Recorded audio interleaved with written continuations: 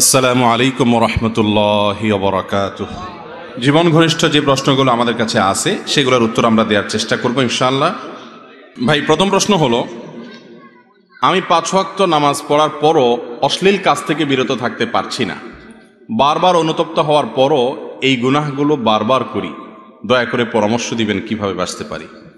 ভাইরা আমার, প্রথম কথা হলো, আল্লাহ রব্বুল্লা আলমিন আমাদেরকে নামাজের নির্দেশ যেরকম করেছেন অশ্লীলতা, বেহায়াপনা, নির্লজ্জলতা থেকে বাঁচার নির্দেশও আল্লাহ তালা করেছেন।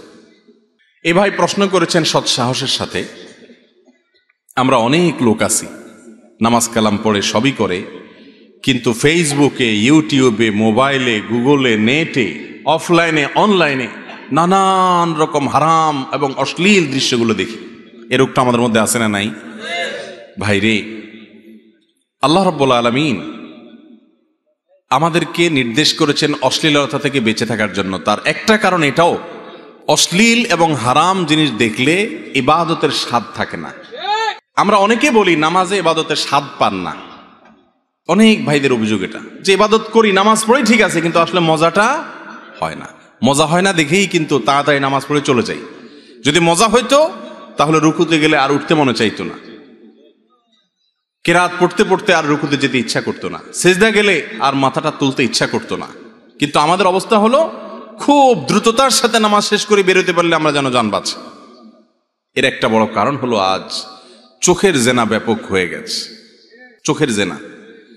চতুর্দিকে তাকালে শুধু চোখের জেনা আর চোখের জেনা। মোবাইলে, বাহিরে, রাস্তা, ঘাটে সর্বত্র।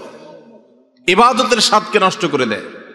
বিভিন্ন হাদিস থেকে বোঝা যায় কেউ যদি নিজের দৃষ্টিকে হারাম জায়গা থেকে বাঁচিয়ে রাখে, আল্লাহ রব্বুল আলমিন তার মধ্যে ইমানই মধুরতা, ইমানই স্বাদ দান করেন, যেটা সে অন্তরে ফিল করে, অনুভব করে। আমি প্রায় সময় বলি, আপনি কোনো হারাম জিনিস দেখার সুযোগ পেয়েছেন ফেসবুকে স্ক্রল করতে করতে এমন কিছু আসছে, জিনিসটা খুবই নোংরা, খুবই নিকৃষ্ট, হারাম। আপনি সেই জিনিসটা সুযোগ আছে দেখার কেউ নাই। কিন্তু আপনার রব দেখছেন, আল্লাহ দেখছেন, এই কথা মনে হওয়ার সঙ্গে সঙ্গে স্ক্রল করে সেটা উপরের দিকে তুলে দিয়েছেন, অথবা ক্রস দিয়ে সেটাকে আপনি হাইট করে ফেলেছেন, সরিয়ে দিয়েছেন। সাথে সাথে দেখবেন, আপনার মধ্যে একটা ভালো লাগা কাজ করছে। সে ভালো লাগাটা হলো ইমানই ভালো লাগা, ইমানই মধুরতা। সাথে সাথে আপনার মনে হবে, আমার মালিকের ভয়ে আমি একটা ত্যাগ করতে পেরেছি স্যাক্রিফাইস করতে পেরেছি। ইমান শক্তিশালী হবে, ইমানটা পুষ্ট হবে, ইমানটা শক্ত হবে, ইবাদতের স্বাদ এভাবে আস্তে আস্তে জাগ্রত হবে। রাস্তা যাচ্ছেন, একজন বেপর্দা নারী আপনার চোখের এরিয়াতে পড়েছে। আপনি চাইলেই তাকাতে পারেন, আল্লাহ দেখছেন, সে ভয়ে তাকালেন না। এসপি সাহেবের মেয়ে যাচ্ছে, অশ্লীল পোশাকে যাচ্ছে, কোন ডিসি সাহেবের মেয়ে যাচ্ছে অশ্লীল পোশাকে যাচ্ছে, এমপি সাহেবের মেয়ে যাচ্ছে, অশ্লীল পোশাকে যাচ্ছে, বা কোনো যে কারও ক্ষমতাবান মানুষের মেয়ে যাচ্ছে, তার স্ত্রী যাচ্ছে, অশ্লীল পোশাকে যাচ্ছে। আপনি ওই মেয়ের দিকে তাকিয়ে বাজে দৃষ্টি দেওয়ার সাহস করবেন না যদি ওই সাহেব আপনার আশেপাশেই থাকে। ঠিক না ঠিক ভয় হবে। যদি এসে একটা চট থাপ্পড় দিয়ে দেয়, বেয়াদব, ভয়েও আপনি কিন্তু ভদ্র হয়ে যাবেন। ঠিক না ঠিক তো আপনি যখন অন্য মেয়ের দিকে তাকাচ্ছেন, এসপি সাহেব, ডিসি সাহেব, এমপি সাহেবের দেখতে ভুল হতে পারে, কিন্তু আমার মালিকের দেখায় কোনো ভুল হতে মালিক দেখছেন কি দেখেন না? ও ভাইরা আমার, এই একটা গুনাহ, এই একটা পাপ আজ এমন হয়ে গেছে, এটা থেকে আমরা কেউ বাঁচতে পারছি না, কেউ না। নামাজি, বেনামাজি, হুজুর আর গায়ের হুজুর, কোনো মানুষ বাঁচতে পারে না এমন একটা অবস্থা। শয়তান আমাদের ইমান হরণ করার জন্য ইমানের স্বাদ, ইবাদতের স্বাদ ধ্বংস করে দেওয়ার জন্য চোখের জেনাকে এমন ব্যাপক করে দিয়েছে যে চোখের জেনা সকাল থেকে রাত পর্যন্ত কয়েকশো বার পর্যন্ত হতে থাকে। ঠিক না ঠিক ভাইয়েরা আমার, বিশেষ করে যুবক ভাইদেরকে বলব, আপনাদেরকে ধ্বংসের জন্য শয়তানের সবচেয়ে বড় অস্ত্র এটা। এর চেয়ে বড় কোনো অস্ত্র আর নাই। যুবকদেরকে স্বীকার করবার জন্য শয়তানের সবচেয়ে বড় আধার নারী, নবী করিম সাল্লাম বলেছেন, আমি চলে যাচ্ছি, তোমাদের মাঝে এমন একটা ফিতনা রেখে যাচ্ছি, এমন একটা তোমাদের জন্য বিভ্রান্তিকর, ধোঁয়াশাপূর্ণ বিষয়, এমন একটি বিষয় তোমাদের মাঝে রেখে যাচ্ছি, যেই জিনিসটাতে পেছনে পড়ে বা ভুলভাবে সেটার ব্যবহার করতে গিয়ে বহু মানুষ ধ্বংস হয়ে যাবে। কত ভালো ছেলে, ভদ্র ছেলে মা বাবার অবাধ্য হয়ে মা বাবার চোখের পানিতে বুক ভাসিয়ে বিপথে চলে গেছে। এই চোখের জেনা করতে করতে কোনো মেয়ের পিছে পড়ার কারণে। ঠিক না ঠিক কত এমনকি নামাজি কালামি মানুষ। আমাদের কাছে অনেক মায়েরা, অনেক বোনেরা এসে চোখের পানি ফেলে। অভিযোগ করে, হুজুর, ছেলেটাকে খুব নামাজি দেখে বিয়ে করছি দাঁড়িয়েও আছে, সবই আছে। কিন্তু এই অশ্লীলতার জোয়ারে সে গা ভাসায়। নির্জনে হারাম জিনিস দেখে যার কারণে সংসারে শান্তি নেই আজ সংসারগুলো সব ভেঙে খান খান হয়ে যাচ্ছে। ঠিক না ঠিক প্রতিদিন অনেক বছর আগের পত্রিকার রিপোর্ট অনেক দিন আগের পত্রিকার রিপোর্ট, উনচল্লিশটি করে ঢাকা শহরে শুধু বিবাহ ভাঙে। এখন সেটা কোথায় গিয়ে দাঁড়াইছে আল্লাহ জানে। ঠিক না ঠিক কেন? এর অন্যতম প্রধান কারণ হলো এই চোখের গুণা। সেকুলার সমাজ ব্যবস্থা আপনাকে বলবে, সব ওপেন থাকবে, তবে নিজেকে নিয়ন্ত্রণ করো। ঠিক না ঠিক সাইনবোর্ডে বিজ্ঞাপন হবে সাবানের। সাবানের জন্য জায়গা থাকবে চার পাঁচ ইঞ্চি। আর পাঁচ হাত, দশ হাত পর্যন্ত বিশাল বড় করে মহিলাকে উপস্থাপন করা হবে। কেন? যাতে করে মানুষ ওই হারাম জিনিস দেখে এবং এর মাধ্যমে সাবানটা দেখে। সাবানকে দেখানো উদ্দেশ্য ঠিক আছে, কিন্তু ব্যবহার করা হচ্ছে নারীকে। নারীকে মর্যাদা দেয়া হলো না অপমান করা হলো? ভাইরা আমার, সর্বত্র এভাবে নারীকে পণ্যায়ন করছে। এমনভাবে সিনেমাতে নাটকে উপস্থাপন করা হবে যেটা দেখে কোনো পুরুষ নিজেকে ঠিক রাখা কঠিন হবে। এরপর আবার বলা হবে যে সব কিছুই উন্মুক্ত থাকবে, স্বাধীনতার নাম দিয়ে সবাই অপকর্ম করবে, সমাজ অস্থিতিশীল হওয়ার মতো সব কিছু খোলা থাকবে। কিন্তু খবরদার কেউ কাউকে বলপূর্বক কারোর গায়ে হাত দিতে পারবে না। ঠিক আছে, বলপূর্বক হাত দিতে পারবে না, কিন্তু আপনি যদি উস্কে দেন, আপনি যদি বিপদগামী হওয়ার জন্য তাকে সহজ করে দেন, ঠেলে দেন সেদিকে, এরপরে বলেন যে সেখানে যাওয়া যাবে না বা সেটা করা যাবে না, তাহলে এটা দ্বিমুখিতা, দ্বিচারিতা, এটা কোনোদিন সম্ভব নয়। পশ্চিমা দেশগুলোতে চলে যান, ইউরোপ, আমেরিকাতে চলে যান, আমেরিকার মতো দেশে যে পরিমাণ নারী নিগ্রহের শিকার হয়, বাংলাদেশে এত নারী নিগ্রহের শিকার হয় না। তারা তো অনেক ভদ্র আমাদের চাইতে, অনেক সভ্য, তারা তো অনেক শিক্ষিত, অনেক উন্নত, তারপরেও পারছে না। এর কারণ কি? এর অন্যতম কারণ হলো, ওই যে আল্লাহর বাতানা পদ্ধতিতে হাঁটে নাই, নিজেদের মন গড়া পদ্ধতিতে হেঁটেছে। কয়েক সেকেন্ডের জন্য যদি লোডশেডিং হয়, তাহলে আর রক্ষা নাই মেয়েদের। ভাইয়ের আমার, ইসলাম বলে ওলা তাকরাবু জেনা। লা তাকরাবু জেনা জেনার কাছেও যেও না। আগে থেকে বাদ দেয় ইসলাম। আর সেকুলার সমাজ ব্যবস্থা বলে সব খুলে দাও, এরপরে নিয়ন্ত্রণ করতে বলো। এটা কোনোদিনই সম্ভব হবে না। আল্লাহ তালা আমাদেরকে আমাদের চোখের গুণা থেকে বেঁচে থাকার তৌফিক দান করুন। এই যুগে এটা মহামারীর মতো হয়ে গেছে। ডায়রিয়ার মতো হয়ে গেছে। ডায়রিয়ার রুগী যখন সিরিয়াস পর্যায়ে চলে যায়, আইসিডিডিআরবিতে ভর্তি করা লাগে মহাকালী কলেরা হাসপাতালে তখন দেখা যায় যে এমন ডাইরেক্ট হয়ে যায়, থামানোর মতো কন্ট্রোলিং পাওয়ার আর তার থাকে না। চোখের জেনা আজকে এরকম হয়ে গেছে, ফেল ফেল করে তাকায় থাকে, জানে গুণা আবার নামাজও পড়ে হয়তো, কিন্তু নিজেকে বাঁচাতে পারে না, কারণ চতুর্পাশে এই ফেতনা দিয়ে শয়তান সাজিয়ে ফেলেছে। আমাদের মা বোনদেরকে ইসলাম এত মর্যাদা দিয়েছে, এত সম্মান দিয়েছে মুসলিম নারীকে দেখে বাজে চিন্তা করবে কোন পুরুষ, কোন যুবক, এই সুযোগ ইসলাম রাখে নাই। এই জন্যই পর্দার বিধান দিয়েছে, এটাতে নারীর অধিকার নষ্ট হয় না, বরং নারীকে সম্মানিত করা হয়। আর যদি নারী পর্দার বাইরে থাকে, তাকে নিয়ে বাজে চিন্তা করার সুযোগ মানুষ পাবে, এটাতে নারীর অসম্মান হবে, নারীর অপমান হবে। যারা নারীকে বেপর্দার কথা বলে, তারা তাদের স্ত্রীকে নিয়ে, তাদের মাকে নিয়ে, তাদের বোনকে নিয়ে, তাদের মেয়েকে নিয়ে অন্যরা মনে মনে বাজে চিন্তা করুক, মনে মনে তাদের পরিবারের মেয়েদের সাথে জেনা করুক, এটা তারা কিন্তু কেউ চায়, কোনোদিনই চায় না। কিন্তু যে কাজ করে, তাতে সেই পথে যাওয়া ছাড়া আর পুরুষদের উপায় থাকে অনেকে আবার এখানে সবক দেয় আমাদেরকে, বলে যে, আপনাদের ইমান কেমন ইমান যে আপনারা দেখে নিজেকে ঠিক রাখতে পারেন না? ওনার ইমান অনেক মজবুত, উনি পারে। ভাইরা আমার আল্লাহ রব্বুল আলমিন এমনভাবে সৃষ্টি করেছেন এই বিষয়টাকে, যদি কেউ বলে, বেপর্দা নারী, আমি অহরহ দেখি, কিন্তু আমার মনে কখনো বাজে চিন্তা আসে না।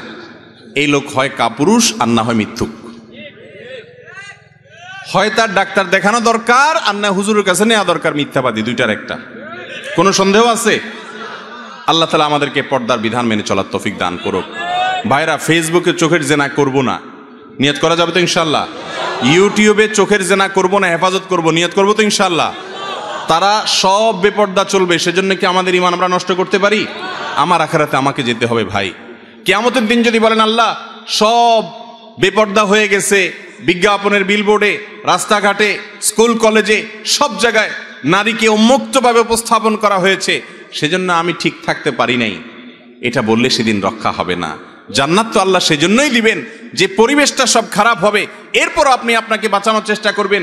আখেরি জামানার উম্মতের মুসলমানের মূল্য অনেক বেশি, কারণ পরিবেশ হবে প্রতিকূল, তারা সংগ্রাম করে বিপরীত এবং প্রতিকূল পরিবেশের উল্টা চলার চেষ্টা করবে। চেষ্টা করব তো ইনশাআল্লাহ। আল্লাহ তালা আমাদেরকে তৌফিক দান করুন। যুবক ভাই আমার, আপনার জানাশোনা বন্ধু বান্ধবদের একশোর মধ্যে নিরানব্বই জন তথাকথিত গার্লফ্রেন্ড রাখে, হারাম রিলেশন রাখে, সম্পর্ক রাখে। ভাইরে, এই হারাম জিনিসটাকে আজ আমাদের সমাজে এত সহনীয় করা হচ্ছে। নাটকে, সিনেমাতে এক সময় নাটকে, সিনেমাতে স্বামী স্ত্রী হয়তো দেখানো হতো। এখন বিভিন্ন রিপোর্ট বলছে, বিভিন্ন আপনার আর্টিকেল বলছে যে এখন নাটক, সিনেমায় নাকি আপনার স্বামী স্ত্রীর চাইতে এই বিএফ জিএফ বা গার্লফ্রেন্ড বয়ফ্রেন্ড এই কালচারটাকে বেশি দেখানো হয়, এমন, এমনভাবে দেখানো হয় যে এটা কোনো দোষের কিছু না। একটা সমাজ ধ্বংস হয়ে আল্লাহর গজবে তলানিতে চলে যাওয়ার জন্য আর কিচ্ছুর দরকার নাই, এই একটা জিনিস যথেষ্ট। সবাই বেঁচে থাকার চেষ্টা করব তো ইনশাল্লাহ আমাদের মা বোনরা পর্দার মধ্যে থাকবে, কে কে রাজি আছেন হাত তোলেন। আমাদের সকল মা বোন, আমাদের পরিবারের সমস্ত মেয়েদেরকে আমরা পর্দা বোঝাবো। আল্লাহ তালা আমাদের সবার নিয়তকে কবুল করব না আমিন। আরেকটা নিয়ত আছে, থামেন। মা বোনদের পর্দা করার জন্য আলহামদুলিল্লাহ সবাই রাজি আছে। চোখের জেনা থেকে বাঁচবেন, হারাম জায়গায় চোখ দেখ, দিবেন না। যদি নজরে পড়ে যায়, মাপ চেয়ে আবার ফেরত আসবেন। এ নিয়ত করবেন তো ইনশাল্লাহ আল্লাহ আমাদের সবাইকে দান করুন তৌফিক। এরপরের প্রশ্ন হলো, কোরআন হাদিসের আলোকে কেয়ামের বিধান কি? কেয়ামের বিধান কি? কেয়াম মানে দাঁড়ানো। কেয়াম করা ফরজ। কেয়াম করা কি ভাই? ফরজ। কেয়াম না করলে ফরজ তরক হয়ে যাবে। আল্লাহ তালা বলেছেন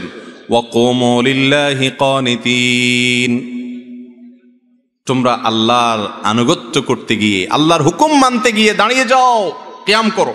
কে নির্দেশ করেছে? আল্লাহ। তাহলে কেয়াম করা কি? ফরজ। তো বসে আছেন কেন? কিয়াম করা ফরজ হলে আমরা সব বসে আছি কেন? ও, নামাজের সময় মার্শাল্লাহ এই তো আপনারা ধরে ফেলছেন। নামাজের সময় কিয়াম করা কিরে ভাই? ফরজ।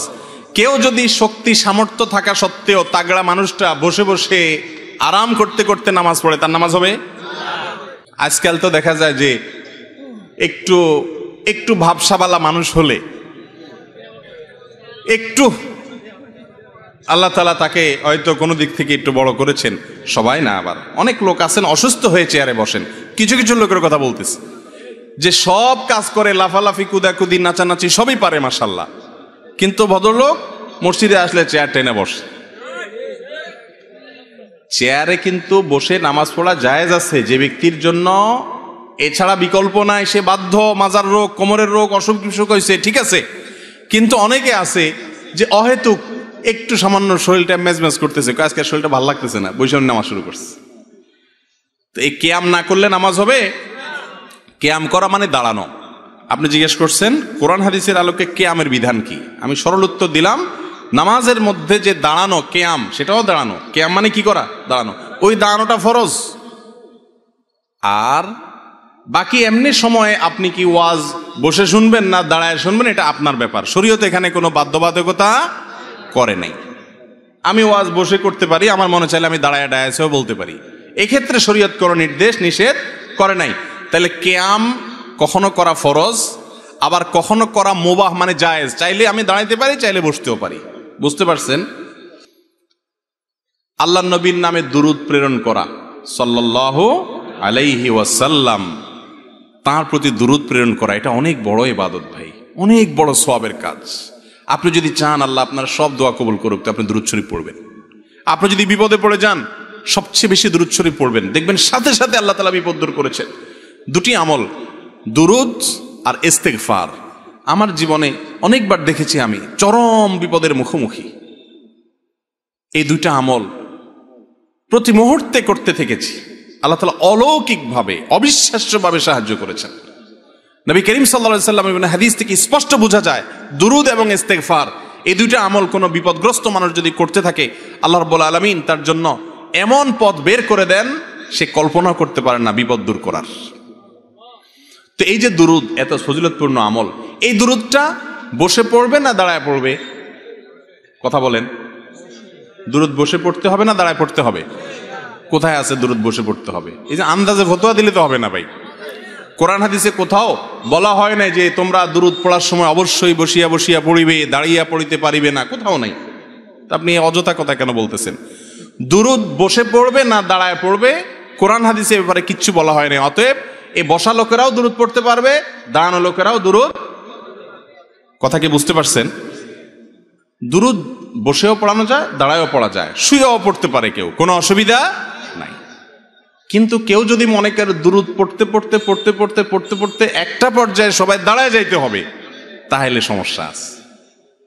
কারণ আপনি দুরুদ পড়তে পড়তে যে হঠাৎ দাঁড়ায় গেলেন, ভাই আমার, আপনাকে কি আল্লাহ রসুল সাল্লা সাল্লাম দুরুদ পড়ার ব্যাপারে বলেছেন এই কথা? কোরআন হাদিসে কোথাও আছে? যে তোমরা যখন দুরুদ পড়বা, আমার প্রতি পড়তে পড়তে পড়তে পড়তে একটা পর্যায়ে আমার সম্মানে তোমরা দাঁড়ায় যাইতে হবে। এরকম কথা যদি আমার নবীজি বলে থাকেন, অবশ্যই দাঁড়াইতে হবে। কোরআনে যদি বলে থাকে, অবশ্যই করতে হবে। আর যদি কোরআন হাদিস না বলে, তা আপনি বসা আলাদেরকে বলবেন, ভাই দূরত পড়তেছেন, দাঁড়ায় যান। অথবা দাঁড়ানোদেরকে আমি যদি বলি, ভাই, আপনারা দাঁড়ায় দাঁড়ায় দূরত পড়তেছেন কেন? বসে যান। এ দুইটার কোনোটাই করার অধিকার আমার আছে নাই। আমাদের যেসব ভাইয়েরা দূরত পড়তে পড়তে হঠাৎ দাঁড়ায় যায় ওনারা কিন্তু নবীজির সম্মানার্থেই দাঁড়ায়। ঠিক না ঠিক। নবী করিম সাল্লাহ সাল্লাম প্রতি সম্মান ভালোবাসার জন্য দাঁড়ায় না। কিন্তু ভাইরে নবীর প্রতি ভালোবাসা প্রকাশের পদ্ধতিটাও হইতে হবে নবীর বাতানো। নিজের মন গড়া পদ্ধতি যদি বাহির করি ইবাদতের, তাহলে সেটা নবীজি সতর্ক করেছেন বেদাত করতে। ভাইরা আমার, যারা কেয়াম করেন, মিলাদ পড়তে পড়তে দাঁড়াইয়া কেয়াম করেন, তাদের প্রতি আমাদের অনুরোধ। রাগ করার কিছু নাই ভাই। আমি আপনার মুসলমান ভাই। আমি চাই আপনি আমার সাথে জান্নাতে যান, আমি আপনার সাথে জান্নাতে যেতে পারি। আমি আপনার ভালোর জন্য বলছি। আপনি যে সমস্ত আলিমরা আপনাকে বলেন কেয়াম করার জন্য, ওনাদেরকে অনুরোধ করেন যে, হুজুর, কোরআন, হাদিসে কোথাও আল্লাহ নবী সাল্লাহ সাল্লাম কি দূরত পড়তে পড়তে দাঁড়ায় যেতে বলেছেন কিনা? যদি বলে থাকেন, সেটা কোথায় আছে? আপনি দেখান, আমিও একই আমল করব ইনশাল্লাহ আর যদি না থাকে, তাহলে সেক্ষেত্রে নিজের মন গড়া যদি আমি এবাদতের পদ্ধতি বানায় নিই তাহলে বেদাত হবে আর বেদাতের ঠিকানা হবে জাহান্নাম ভাই। আচ্ছা আমরা নামাজের মধ্যে দূরত কি আপনাদের এলাকায় বসে পড়েন না দাঁড়ায় পড়েন? নামাজের মধ্যে শেষ বৈঠকে দূরত পড়েন না আপনারা? এই দূরতটা কি বসে পড়েন না দাঁড়ায় পড়েন? এই দুরুদের চেয়ে শ্রেষ্ঠ কোনো দুরুদ নাই। সাহাবিরা দুরুদ শিখতে চাইছেন, নবী করিম সাল্লাহ সাল্লাম দুরুদ ইব্রাহিম শিখাইছেন। দুরুদ পড়তে পড়তে যদি দাঁড়ায় যাওয়া লাগতো, তাহলে সাহাবিরা রসুল্লাহ আকরম সাল্লাহ সাল্লাম, এমনকি আমরাও নামাজের মধ্যে দূরত পড়তে পড়তে দাঁড়ায় যেতাম। ঠিক না বে ঠিক। নামাজের চাইতে গুরুত্বপূর্ণ কোনো অবস্থা মানুষের হতে পারে? সেই জায়গায় দূরত পড়তে পড়তে যদি দাঁড়ানো না লাগে, তা নামাজের বাইরে কেন দাঁড়ানো লাগবে ভাই? কথা কি বুঝছেন না বুঝেন নাই? দূরত যদি বসে পড়লে বেয়াদবি হইতো, তো আল্লাহ তালা বসে নামাজে দূরত দিতেন না, বলতেন, দাঁড়ায় সুরা ফাতেহার সময় দূরত পড়ার কথা। ঠিক না ঠিক অথবা বসে আছেন আত্মাহাতু পড়ছেন দুরুদের সময় দাঁড়ায় যান। আল্লাহ তালা এরকম করে নির্দেশ দিয়েছেন তাহলে আপনি নামাজের বাইরে কেন এটাকে জরুরি মনে করতেছেন? আমার কথা কি বুঝতে পারছেন? আল্লাহ তালা আমাদেরকে বুঝার তৌফিক দান করুন। তবে ভাই, এগুলো নিয়ে কামড়া কামড়ি করা যাবে না। ঝগড়া জাটি করা যাবে না। ভাইয়েরা আমার, অনেক লোকজন আছে আমাদের সমাজে যারা এগুলো নিয়ে মারামারি করে। যদি কেউ কেয়াম করে আমার কোনো ভাই, করুক। তার সাথে ঝগড়াঝাটি বা গন্ডগোলে যাবেন না। এই গন্ডগোল করার কোনো অনুমতি ইসলাম আমাদেরকে দেয় নাই। আপনি না করাটাকে মনে করতেছেন সুন্না সম্মত, আপনি করবেন না। কিন্তু কোনো ভাইয়ের সাথে বেজালে যাবেন না। এলাকাতে আজ মুসলমানদেরকে শয়তান অনেক রকম বেজালের মধ্যে লাগাই দিস। আমি মাসালাটা চেষ্টা করছি করোনা হাদিসের আলোকে আমার দৃষ্টিভঙ্গি তুলে ধরার। যদি আমারটা ভুল হয়, তাহলে আরেকজন তারটা তুলে ধরবেন। মানুষ সঠিকটা গ্রহণ করবে। কেউ যদি কোনো আলেমের মাসআলা, ফতোয়া শুনে আমল করে না, তিনি ভুলও করেন, তার বুঝে মনে হয়েছে এটা সঠিক, তারপরে দেখা গেছে ভুল। ইনশাআল্লাহ আল্লাহর কাছে মুক্তি পেয়ে যাবে, নাজাত হয়ে যাবে। তো আপনি ঝগড়া করে লাভ কি? বুঝতে পারছেন কথা? আল্লাহ তালা আমাদেরকে আমল করার তৌফিক দান করুন। এরপরে প্রশ্ন হলো, চরিত্র রক্ষার্থে মা বাবার অনুমতি ছাড়া বিবাহ করা জায়েজ হবে কি? এটা অনেক দীর্ঘ আলোচনা সাপেক্ষ বিষয় ভাই। বিশেষ করে যুবকদের জন্য এই প্রশ্নটা আজকাল অনেক বেশি। তো মা বাবাকে সম্মত করে করাতে পারলে সেটা নিরাপদ।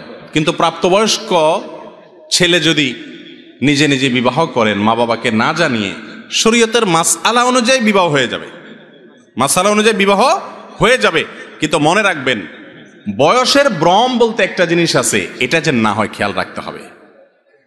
আল্লাহ তালা আমাদেরকে হারাম থেকে বেঁচে থাকার তৌফিক দান করুন। এরপরে প্রশ্ন হলো, অনেক আলিমই জনসাধারণের সামনে আকিদার মতো গুরুত্বপূর্ণ বিষয়ে ফতোয়া প্রদান করে থাকেন। অথচ তিনি মুফতি নন। আমার জানার বিষয় হচ্ছে ইসলামের ফতোয়ার গুরুত্ব কতটুকু? ভাইরা আমার, সাধারণ মানুষের সামনে ফতোয়া বা মাসআলা বা আকিদা ইমান সংক্রান্ত বিষয়ে বলা যাবে না, এমন কোনো কথা নাই। তাহলে কার সামনে বলবে আর? কিন্তু হাইপোথেটিক্যাল, উচ্চমর্গীয়, খুব বেশি ক্রিটিক্যাল বিষয় আসো যদি সাধারণ মানুষের কাছে তুলে ধরা হয়, যেটা হয়তো অনেকে বুঝতে পারবেন না, তাহলে সেটা কোনো আলেমের জন্য করা উচিত না। সই মুসলিমের মোকদ্দমা একটা হাদিস আছে, কাল্লিমিন না সাবে কদরে অকুলিহিম মানুষ যতটুকু বুঝতে পারবে ততটুকু বলো। আমি একবার হিস্টল মুসলিম একটা দোয়ার বই আছে, জানেন আপনারা? গোটা পৃথিবীতে দোয়ার বইয়ের মধ্যে সমকালীন যুগের সবচেয়ে সমাদৃত বই এটা হিস্টল মুসলিম। পকেট সাইজ আছে, বিভিন্ন সাইজের আছে। বাংলা অনুবাদ হয়েছে, আলহামদুলিল্লাহ। এই বইটার যিনি লেখক ছিলেন, অনেক বড় মাপের একজন মুখলেস মোত্তাকি মানুষ ছিলেন সৌদি আরবের। মারা গেছেন বেশ কিছু, কয়েক বছর হয়েছে। ওনার সাথে বেশ কয়েক দফা ওনার সোহবতের সান্নিধ্যে থাকার সুযোগ হয়েছে আমার। সৌদি আরবের ওলামাদের মধ্যে এরকম মুখলেস, এরকম মোত্তাকি আলেম আমি খুব কম দেখেছি। অনেক ওলামাদের সাথে মেশার সুযোগ হয়েছে। কে কতটা মুখলেস আর মোত্তাকি আল্লাহ ভালো জানেন বাকি আমার আকিদা, আমার বিশ্বাস, আমার ধারণা, যেটি অনেক উঁচু মাপের মোত্তাকি ছিলেন, অনেকগুলো কাজকর্ম দ্বারা জানলাম, বুঝলাম, অনুমান করলাম। তো আমি তাকে একবার প্রশ্ন করলাম, আমাদের অফিসে আসছিলেন সৌদি আরবে, বললাম যে, শেখ, এই হাদিসটা আমি মানুষের সামনে বলার পর মানুষ সেটা ভুল বুঝছে এবং ব্যাপক প্রতিক্রিয়া আসতেছে যে হাদিস এটা কীভাবে হতে পারে, এখন এটার ব্যাখ্যা কি দেব? ব্যাখ্যা তো অনেক আছে, কোন ব্যাখ্যাটা আমি দেব বা আপনি কোনটাকে প্রেপার করবেন। তিনি আমাকে সাথে সাথে ধমক দিয়ে বললেন, যেটা তুমি যাদের সামনে বলছো তারা বুঝবে না, ভুল বুঝবে, তাদের সাথে তুমি কেমনে বল, কেন বলতে গেলা?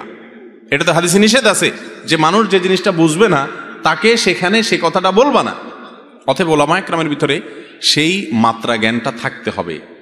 সেই এতটুকু মানুষের বিবেচনা শক্তি, একজন আলেমের বিবেচনা শক্তি এতটুকু থাকতে হবে যে কোথায় কোনটা বলব, কোথায় কোনটা বলব না। বললাম আর ভেজাল লাগাই দিয়ে চলে গেলাম। এটা কিন্তু কোনো আলেমের দায়িত্ব হতে পারে না। আল্লাহ তালা আমাকে সহ সমস্ত যারা ইসলামের কথা বলেন, কোরআন হাদিসের কথা বলেন, তোলাবা, ওলামা, আল্লাহ তালা সবাইকে আমাদের সমাজ যেন শান্তশিষ্টভাবে চলে, অস্থিরতা না হয়, বিশৃঙ্খলা না হয়, ভুল বুঝাবুঝি তৈরি না হয়, এরকমভাবে ইসলামের দাওয়াতের কাজ করার তৌফিক দান করুন। এরপরে প্রশ্ন হলো, দাড়ি পড়ে গেলে পড়া দাড়িগুলো কি করবেন? যদি দাড়ি ঝরে পড়ে যায় বা চুল ঝরে পড়ে যায়, যদি আপনার সুযোগ থাকে এগুলো একত্র করে এমন কোনো জায়গায় ফেলা, ধরেন এমন একটা মাটিতে ফেললেন, যেখানে কবরস্থান বা কিছু আছে, আস্তে আস্তে এটা মাটির সাথে মিশে যাবে, তাহলে সেটা উত্তম। এমন কোনো জায়গায় ইচ্ছাকৃতভাবে মানুষের শরীরের কোনো অংশ এই যে আমরা নখ কাটি, গোপ কাটি এগুলো এমন কোনো জায়গায় ফেলা উচিত না। অনুত্তম, যেখানে ফেললে অসম্মান হবে। ধরেন ময়লার মধ্যে ফেলে দিলেন। টয়লেটের প্যানের মধ্যে ফেলে দিলেন। ময়লার সাথে চলে গেল। এটা আল্লাহ তালা মানুষের শরীরকে সম্মানিত করেছেন। ওয়ালাকাদ কার্রাম না বানি আদম। আল্লাহ আদম সন্তানকে সম্মানিত করেছেন। মানুষের শরীরের অপমানকর ভাবে ব্যবহার করা বা এটার অপমান হয়, এরকম কাজ করা উচিত না। অনুত্তম কাজ। কিন্তু যদি কেউ টয়লেটে ফেলে দেন, তাতে কোনো কবিরা গুনাহ হবে না, মহাপাপ হবে না, বড় কোনো অপরাধ হবে না। ব্যাপারটা কি বুঝতে পারছেন? জাস্ট উত্তম, অনুত্তম, ভালো আর মন্দ। তরকারিতে লবণটা ঠিকঠাক মতো হলে ভালো, একটু এদিক সেদিক হলেও পেট ভরে যাবে, কোনো অসুবিধা হবে না বড় কোনো। ঠিক একইভাবে এই চুল বা দাড়ি যদি পড়ে যায়, যেখানে সেখানে ফেলে দিলেন, এতে বড় কোনো অসুবিধা নাই। কিন্তু একজন মুসলমান সব কিছু তরকারিটা যেরকম চান যে সব ঠিকঠাক মতো হোক মাসাল্লাহ আমলটাও ঠিকঠাক মতো হোক, এটা যদি চান, তাহলে এগুলোকে পড়ে গেলে এমন কোনো জায়গায় ফেলেন মাটিতে, অথবা মাটির নিচে দিয়ে একটা চাকা দিয়ে চাপ, চাপা দিয়ে দেন, এটা হলো উত্তম। কথা কি বুঝাতে পারছি? এরপরে প্রশ্ন হলো, ভাঙা আয়নায় মুখ দেখা এবং ভাঙা প্লেটে খাবার খেলে কি হয়? ভাঙা আয়নায় মুখ দেখলে আর ভাঙা প্লেটে খেলে কি হয়? উত্তর হলো, ভাঙা আয়নায় মুখ দেখলে দেখতে একটু অসুবিধা হয়। ভাঙা প্লেটে ভাত খেলে, কোনো কিছু খেলে, ওই প্লেটের যেহেতু ভাঙা, এজন্য ওই খাঁজে, ভাঁজে জীবাণু, ময়লা লেগে থাকতে পারে। সেজন্য এটাতে খেতে অনেক সময় অরুচি হয়। উত্তর পাইছেন তো? কিন্তু যে উত্তর আশা করছেন সেটা হলো যে ভাঙা প্লেটে খাইলে অমঙ্গল হয়, ভাঙা আয়নায় দেখলে কি হয়? ক্ষতি হয়। এগুলো সব আমাদের বানানো মাসালা। এগুলো সব আমাদের ইসলামের নামে কত ভুয়া কথা যে আমাদের সমাজে আছে, এর মধ্যে এগুলো একটা। ভাই, যে বেচারার ভালো আয়না নাই, তার আয়নাটা ভেঙে গেছে, বেচারার আর টাকা নাই। আপনি ফতোয়া দিলেন কি, ভাঙা আয়না মুখ দেখলে ক্ষতি হয়। তো বেচারা আর আয়না দেখতে পারল না। এটা কোনো আয়না দোকানদারে মশলাটা বাইর করছে কিনা আমার সন্দেহ। যে আয়না যাতে বেচা হয়, কারণ আয়না ভাঙলে আর দেরি করা যাবে না। এটা দিয়ে চোখ দেখা যাবে না, মুখ দেখা যাবে না, খবরদার। আরেকটা কিনতে আসো। আল্লাহ জানে। কয়দিন আগে একজনও জিজ্ঞেস করল একটা মাসালা, কি অদ্ভুত অদ্ভুত জিজ্ঞাসা মানুষের। বলে যে কাফনের কাপড় নাকি মূল্যে কিনা যায় না। আমি বললাম, তাহলে সব বাদ দিয়ে কাফনের টাকার তো কাপড়ের দোকান দিলেই তো লাভ। এমন দাম চাওয়া হবে যেটা মূলাইতে পারবে না। চান্দু যাবা কই? দশ টাকা জিনিস দুশো টাকা বললেও নিতে হবে, মূলানো যাবে না। তো এরকম কোনো কথা আসলে নাই। ভাঙা আয়না, এটাতে মুখ দেখলে কোনো অসুবিধা হবে না। আপনার দেখতে অসুবিধা হবে আসলে এতটুকু, এর বেশি কিছু না। আপনি মনে চাইলে দেখেন, মনে চাইলে নতুন একটা কিনেন, সম্পূর্ণ আপনার ব্যাপার। এগুলোতে কোনো ক্ষতি নেই। ক্ষতি হবে যেগুলোতে, সেগুলো সারাদিন করতেছি, হারাম কাজ করতেছি, গুনার কাজ করতেছি, সেগুলোর খবর নাই। এই আজারে এবং ফালতু জিনিস আমরা খুঁজে বের করে আনি। আল্লাহ তালা আমাদেরকে ইসলাম সম্পর্কে সকল কুসংস্কার থেকে মুক্ত হওয়ার তৌফিক দান করব আমিন। এরপরে প্রশ্ন হলো, কথিত আছে বাম চোখ লাফালে বিপদ আসে। ইসলামের কোনো ভিত্তি আছে কি? বাম চোখ লাফালে কি আসে? বিপদ আসে। এর কোনো ভিত্তি আছে কি কিনা? ভাইরে, আপনাদের বাম চোখ লাফায় মাঝে মধ্যে? আমার তো প্রায় লাফায়। কই? আমি তো দেখি না যে বাম চোখ লাফানোর পর কোনো বিপদ আসছে। যদি কখনো কারোর বাম চোখ লাফানোর পরে বিপদ আসে, যদি কোনো বিপদ আসে, তো বুঝতে হবে এটা চোখ না লাফাইলেও আসতো, ডান পর চোখ লাফাইলেও আসতো, শরীর গোটাটা লাফাইলেও আসতো। বুঝতে পারছেন কথা? মুসলমান কখনো এই সমস্ত আলতু ফালতু কথা বিশ্বাস করতে পারে না, যেটার কোনো ভিত্তি নাই, না বৈজ্ঞানিক কোনো ভিত্তি আছে, গবেষণা দ্বারা প্রমাণিত, না কোরআন হাদিস দ্বারা প্রমাণিত। এরকম ফালতু কুসংস্কারে বিশ্বাসী কোনো মুসলমান হতে পারে না। বাম চোখটা একটু লাফাচ্ছে, বলে, রে, কোন বিপদ আসে রে? বিপদ তো তোমার ইমান আমল যাচ্ছে, ইসলাম সম্পর্কে কুসংস্কারের জন্য বিশ্বাস নিয়ে তুমি মরতেছো, এটাই তো বড় বিপদ। অতএব চোখ যদি বামটা লাফায় চোখরে বলবেন, আরও জোরে লাফা কিচ্ছু হবে না, ইনশাআল্লাহ। কথা বুঝতে পারছেন? অনেকে আছে, এই মাসালাটা জানে এবং প্রশ্ন করে, হুজুর, মাসালা জানে যে এই চোখ লাফালে কিছু হবে না, বিপদ এবং সুখ, এই সবগুলো দেওয়ার একমাত্র মালিক কে? আল্লাহ, এরকম কোন আলামত আল্লাহ বলেন নাই আমাকে। আমি মন গড়া কেন বলবে? মাসালা জানে ঠিকই তারপরে যখন বাম চোখটা একটু লাফায়, তখন ভয় হয় ভিতরে। আছে না নাই? অনেকে প্রশ্ন করে যে, হুজুর, এই ভয় হয় কেন? এই ভয় হয় এজন্য ইমান দুর্বল। আমি বলি, তখন চোখেরে বলবেন, চোখ আরও দুমসে লাফাইতে থাক, আমার কোনো টেনশন নেই। এরপর যদি কোনো বিপদ আসেও নিজেরে বলবেন যে অবশ্যই এই বিপদ আমার কপালে আগে থেকে লেখা ছিল, তাই আসছে। চোখের লাফানোর সাথে এর কোনো সম্পর্ক নাই। চোখ তোমার চোদ্দ গোষ্ঠী সহ একসাথে নাচতে থাকে কোনো কিছু হবে না আমার, ইনশাআল্লাহ। আল্লাহ তালা আমাদেরকে সমস্ত কুসংস্কার থেকে বেঁচে থাকার তৌফিক দান করুন। ঘরে কিংবা দোকানে পীর অথবা ফকিরের ছবি ঝুলিয়ে রাখলে বরকত বেশি হবে, এ ধারণা ঠিক আছে কিনা? ভাইরে, রসুল করিম সাল্লা সাল্লাম বলেছেন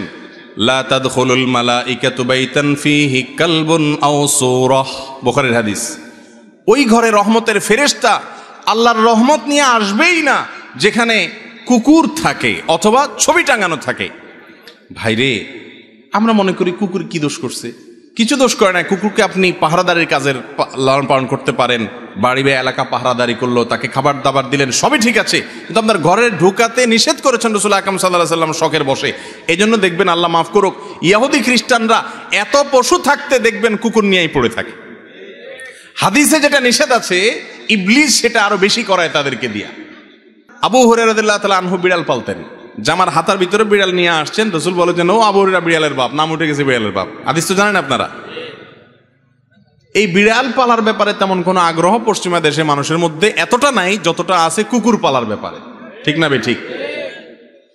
ভাইরে যেটা নবী করিম সাল্লাহ সাল্লাম নিষেধ করছেন, দেখবেন সমস্ত পৃথিবীতে শয়তান সেটার প্রচলন বেশি দেওয়ার চেষ্টা করে।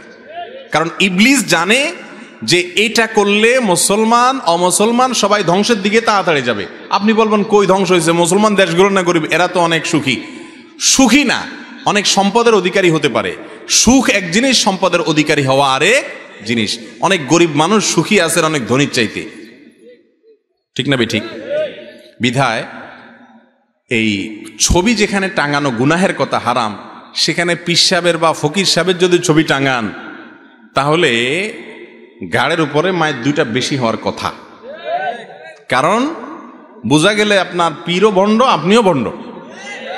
কারণ, আল্লাহ মাফ করো কেউ বলতে পারেন পিসাব তো বলে নাই। সাধারণত মানুষ যে পিসাবের ছবি টাঙায়, সে পিসাবদের এসব ব্যাপারে চোদ্বোধ থাকে না, তাদের দরবারেও এগুলো টাঙানো থাকে তাদের। এটাই বেশিরভাগ চিত্র, আমি সেজন্য বললাম। ভাইরা আমার, এটা জায়েজ নাই। বরকত যা আসতো সেটাও এটার কারণে আসবে না, বরং ধ্বংস হবে। কেনা বেচা বেশি হলেই বরকত হয় না। কেনা বেচা বেশি হলে বরকত হয়। কেনা বেচা অনেক বেশি হলো দোকানে, কিন্তু খরচ তার চাইতে বেশি হলো। বরকত মানে কল্যাণ। বরকত মানে কি? একজনের দোকানে আজকে এক হাজার টাকা বিক্রি হয়েছে। কিন্তু আল্লাহ যদি বরকত দেয়, এক হাজার টাকার ভিতরে তার সকল কাজ সারার পর আরও টাকা থাকবে। আরেকজনের পাঁচ হাজার বিক্রি হয়েছে। আল্লাহ এমন এক রোগ দিছে, দুই মাস পরে দশ হাজার টাকা হেরো গিয়ে চলে গেছে। তাহলে বোঝা গেল বরকত ভিন্ন জিনিস। হারামে কি থাকে না বরকত? থাকে না। কোনো পীর বা ফকিরের ছবি দোকানে ঝোলানো জায়েজ নাই, গুনাহের কথা। বিসমিল্লাহ, আল্লাহর নাম নিয়ে দোকান খুলবেন, হালাল পথে দোকানদারি করবেন, পয়সা যেটা আসুক সেটাকে মেনে নিবেন, এর মাঝেই বরকত ইনশা আল্লাহ আল্লাহ আমাদের বোঝার তৌফিক দান করুন। এরপরের প্রশ্ন হলো, স্বামী সকালবেলা চাকরিতে চলে যায়, ওই মহিলা অন্য পুরুষের সাথে ঘরের ভেতরে কোনো খারাপ কাজে লিপ্ত? অনেকবার রেকর্ড করা হয়েছে, এখন তার সাথে সংসার করা যাবে কিনা? চার চারটি বাচ্চা আছে, কি করা উচিত? আল্লাহ মাফ করুক, এটা আজ মহামারীর আকার ধারণ করেছে ভাইয়েরা আমার। এই যে পরকিয়া, মহিলার কথা বলছেন আপনি, পুরুষরা কি সব দুধের দোয়া? এ ভাই হয়তো নিজে এই পরিস্থিতির শিকার বা তিনি এই ঘটনা জানেন। স্ত্রীকে বাসায় এসে বলতেছেন যে, তোমাকে আল্লাহ তালা এত সুন্দর করে তৈরি করেছেন, দুনিয়াতে তোমার চেয়ে সুন্দর আর কেউ নেই। আর এদিকে ফেসবুকে যাইয়া কোনো একটা মেয়ের আইডি পাইছেন, তো ইটিস পিটিস তার সাথে নক করা শুরু করছেন। এরকগুলো আমাদের মধ্যে আছে না নাই ভাই? ভাইরা আমার, পরিবারগুলো ভেঙে খান খান হয়ে যাচ্ছে। সংসারে অশান্তি শুরু হয়েছে। পরকিয়া, এটা জোয়ারের মতো বাড়ছে। এই সবগুলো হচ্ছে এই জন্য জেনার পরিবেশ চতুর্দিক থেকে বিস্তার করা হচ্ছে, পর্দার বিধানকে লঙ্ঘন করা হচ্ছে। এটাই হলো এর একমাত্র কারণ। মূল মাসালার উত্তর হলো, কোন স্বামীর, কারোর স্ত্রী যদি জেনায় লিপ্ত হয় অথবা কোনো স্ত্রীর স্বামী যদি জেনায় লিপ্ত হয়, শরীয়তের মাসআলা অনুযায়ী তাদের মধ্যে সম্পর্ক ভেঙে যায় না। কেউ জেনায় লিপ্ত হলে সে আল্লাহর কাছে অপরাধী হবে, তার পাপ হবে, তার গুণা হবে, তার শাস্তি হবে। এর কারণে বৈবাহিক সম্পর্ক কি হবে না, নষ্ট হবে না। তবে স্বামী বা স্ত্রী একজন জেনায় লিপ্ত হলে অন্যজনের উচিত তাকে জেনা থেকে সরায় আনার জন্য আপ্রাণ চেষ্টা করা। যদি তাতে কাজ না হয়, শাসন করা। তাতেও কাজ না হয়, মুরব্বীদের কাছে বিচার দিয়ে সমাধান চাওয়া। তাতেও যদি কাজ না হয়, তাহলে সেক্ষেত্রে তিনি চাইলে তার সাথে সম্পর্ক ছেদ করতে পারেন। একটা তালাক দিলেন, যদি তাদের সংশোধন হয়, ভালো কথা। না হলে পরে আরেকটা তালাক দিলেন, তাতেও হয় না। ফাইনাল চূড়ান্ত তৃতীয় তালাক দিলেন, সম্পর্ক আর রাখলেন না, এই সুযোগ তার আছে। আর যদি তিনি এর সাথেই ঘর করে যায়, এ আশা করে যে আল্লাহ তাকে হয়তো কখনো সংশোধন করে দিবে, তো তাতে তাদের বৈবাহিক সম্পর্কের কোনো ক্ষতি হবে না। এরপরের প্রশ্ন, আমি পাঁচশক্ত নামাজ পড়ি, কিন্তু নামাজের মধ্যে দাঁড়ালে মনোযোগ বসে না নামাজের তৃপ্তি পাই না। সকল কঠিন কঠিন বিষয় এটা মনে পড়ে। এই পরিস্থিতি থেকে পরিত্রাণের উপায় কি? একটু আগে প্রশ্নোত্তর দেওয়ার আগে আমি বলেছি এবাদতের স্বাদ নষ্ট হয়ে যায় চোখের জুনার কারণে। কিসের কারণে? আমি আপনাদেরকে আল্লাহর উপরে ভরসা করে বলছি, যদি কেউ এবাদতের স্বাদ পান না এ অভিযোগ করেন আপনি টানা দশ দিন, বিশ দিন এই চোখ দিয়ে হারাম কোনো পড়নার দিকে তাকাবেন না, কোনো মিউজিক, কোনো গান শুনবেন না। মোবাইলেও না, মোবাইলের বাইরেও না, টেলিভিশনেও না, কোনো দিকেই না। রাস্তা চলবেন, নিজেকে নিয়ন্ত্রণ করবেন। নজর পড়ে গেছে, সাথে সাথে নিজেকে শাসন করবেন, ভৎসনা করবেন আল্লাহ কাছে মাপ চাইবেন। এরপরে আরও সাবধান হয়ে চলবেন। এভাবে দশ পনেরো দিন যদি চোখের জেনা থেকে আপনাকে বাঁচাতে পারেন নিজেকে ইনশা আল্লাহ আপনি ইবাদতের স্বাদ পাবেন। আপনি রুকু করলে সেজদা করলে আর উঠতে মনে চাবে না। ভাইরে, আজ আমাদের কাছে নামাজটা বোঝা হয়ে গেছে। আমরা নামাজটা পড়ি একটা বোঝা। পড়ে শেষ করতে পারলে বাঁচি। সাহবা একরাম, এমনকি আমাদের প্রিয় নবী করিম সাল্লা সাল্লাম কীভাবে নামাজ পড়তেন জানেন? আম্মাদান আয়েশা বলেন, তিনি যখন রাত্রের জন্য নামাজ পড়তেন, লা তাসআল আন হুসনিহিন্না ওয়া তুলিহিন্না। নবীজির রাতের নামাজের কি সৌন্দর্য ছিল? আহ, আর বলো না। যখন তিনি দাঁড়িয়ে কেরাত পড়তে থাকতেন, এত লম্বা সময় পড়তেন আমরা মনে করতাম হাইরে রুকুতে আর যাবেন না মনে হয়। রুকুতে যাওয়ার পর সুহান রব্বিল আজিম আল্লাহর পবিত্রতা বর্ণনা করছেন, মালিকের সামনে নিবেদন করছেন তাজবি এত বেশি ভালো লাগা কাজ করতো নবীজি, রুকু থেকে আর উঠতেন না। আমাদের আয়সা বলেন, মনে হয়তো তিনি আর উঠবেন না, মাথা তুলবেন না। ভয় হতো যে হাইরে এত সময় ধরে তিনি রুকুতে আছেন, কষ্ট হয়ে যাচ্ছে, মাথাটা কেন তুলছেন না? এরপর যখন মাথা তুলতেন, এত সময় ধরে দাঁড়িয়ে আল্লাহর প্রশংসা করতেন হামদান কাসীরান তৈবান ফি। রব্বানা ওয়ালাকাল হামদ। এতবার, এত সময় নিয়ে বলতেন, মনে হয় যে আর সেজদা যাবেন না। আবার সেজদা গেলে একই অবস্থা। সবচেয়ে মজার জায়গায় সেজদায় আমার মালিককে আমি সেজদা করছি। এই সেজদার বিনিময়ে দুনিয়া এবং দুনিয়ার মধ্যে যা কিছু আছে সব কিছুর চাইতে উত্তম হবে, মালিকের সবচেয়ে নৈকট্য অর্জন হবে, আকরাবু মা ইয়াকুনুল আবদু মির রাব্বিহি ওয়া হুয়া সাজিদ। বান্দা আল্লাহর সবচেয়ে কাছে যেতে পারে যখন সে সেজদায় চলে যায়। প্রধানমন্ত্রীর খুব কাছে যেতে পারলে, প্রেসিডেন্টের খুব কাছে যেতে পারলে আমাদের গর্ব হয়। দুনিয়ার প্রধানমন্ত্রী, দুনিয়ার প্রেসিডেন্ট, দুনিয়ার রাজা, দুনিয়ার সমস্ত মানুষের মালিক যিনি, বাদশাহ যিনি, রব যিনি, সবাই যার গোলাম সৃষ্টি, সেই মালিকের সবচেয়ে কাছে যেতে পারে মানুষ যখন সেজদায় চলে যায়। আপনি যদি মনে করেন, আমি সেজদায় আসি আমার রবের সবচেয়ে কাছে আসি একবারে সামনাসামনি রবকে পেয়ে আমি নিবেদন করছি, সুবহান রব্বিয়াল আলা ও আমার মহান প্রভু মালিক, আপনি পবিত্র। আপনার পবিত্রতা আমি বর্ণনা করছি। ভালো লাগা কাজ করবে। নবীজি সাল্লাহ সাল্লাম লম্বা সময় সেজদা করতেন, উঠতে চাইতেন না। আর আমাদের অবস্থা হলো, নামাজ তাড়াতাড়ি করে শেষ করতে পারলে বাঁচি। নামাজের পরে যদি বৃষ্টি হয়, তো মসজিদের দুয়ারে এসে সবাই এমনভাবে একত্র হয়, মনে হয় জেলখানায় আছে, বাইর হওয়ার জন্য সবাই পাগল হয়ে গেছে। ঠিক না বে, ঠিক? ভাইরা আমার, এই ইবাদতের স্বাদ নষ্ট হয় যে কাজগুলোর মাধ্যমে, তার মধ্যে অন্যতম একটা কাজ হলো চোখের গুণা যেটা আজ ব্যাপক হয়ে গেছে এই জন্য এবাদতের স্বাদ নাই। আল্লাহ আমাদেরকে চোখের জেনা থেকে বেঁচে থাকার তৌফিক দান করুন। আর এমনি গণহারে গুনাহের কারণেও এবাদতের স্বাদ কমে যায়। এবাদতের স্বাদ কমার তৃতীয় কারণ হলো হারাম খানা আজকাল খাবারের মধ্যে এত ভেজাল। আল্লাহ মাফ করুক, ইমাম সাহেব বেচারা যে বেতনটা পায়, ওয়াজ করে হুজুর যে হাদিয়া পায় ওই হাদিয়াও দেখা গেল যে যেসব মানুষ দিছে টিছে, সুদখোর, ঘুষখোর, টিনচোর, গমচোর, ডাকাত, রাহাজানি করেন না, আইল ঠেলা মানুষ, দুই নম্বরে ইনকাম করা মানুষ, চাঁদাবাজ, মাস্তান। এক একজনের ইনকামে এক এক ভেজাল। আবার কেউ আছে, এগুলো কিছু করেন, আপনারা খুব হাসতেছেন মনে মনে, হুজুর সব বাঁশ দিয়ে ফেলতেছে। আপনি নিজেও যে বাঁশ খাওয়ার লোক, আপনি বোনের হক দেন নাই। ফুফুর হক দেন নাই বাপের সম্পত্তিতে। তাহলে আপনিও হারাম খোর, আমিও হারাম খোর হয়ে যাব যদি এই কাজ করি। ঠিক না ঠিক। এই হারাম খাওয়ার কারণে এবাদতে স্বাদ পাওয়া যায় না। তিনটা জিনিস বললাম।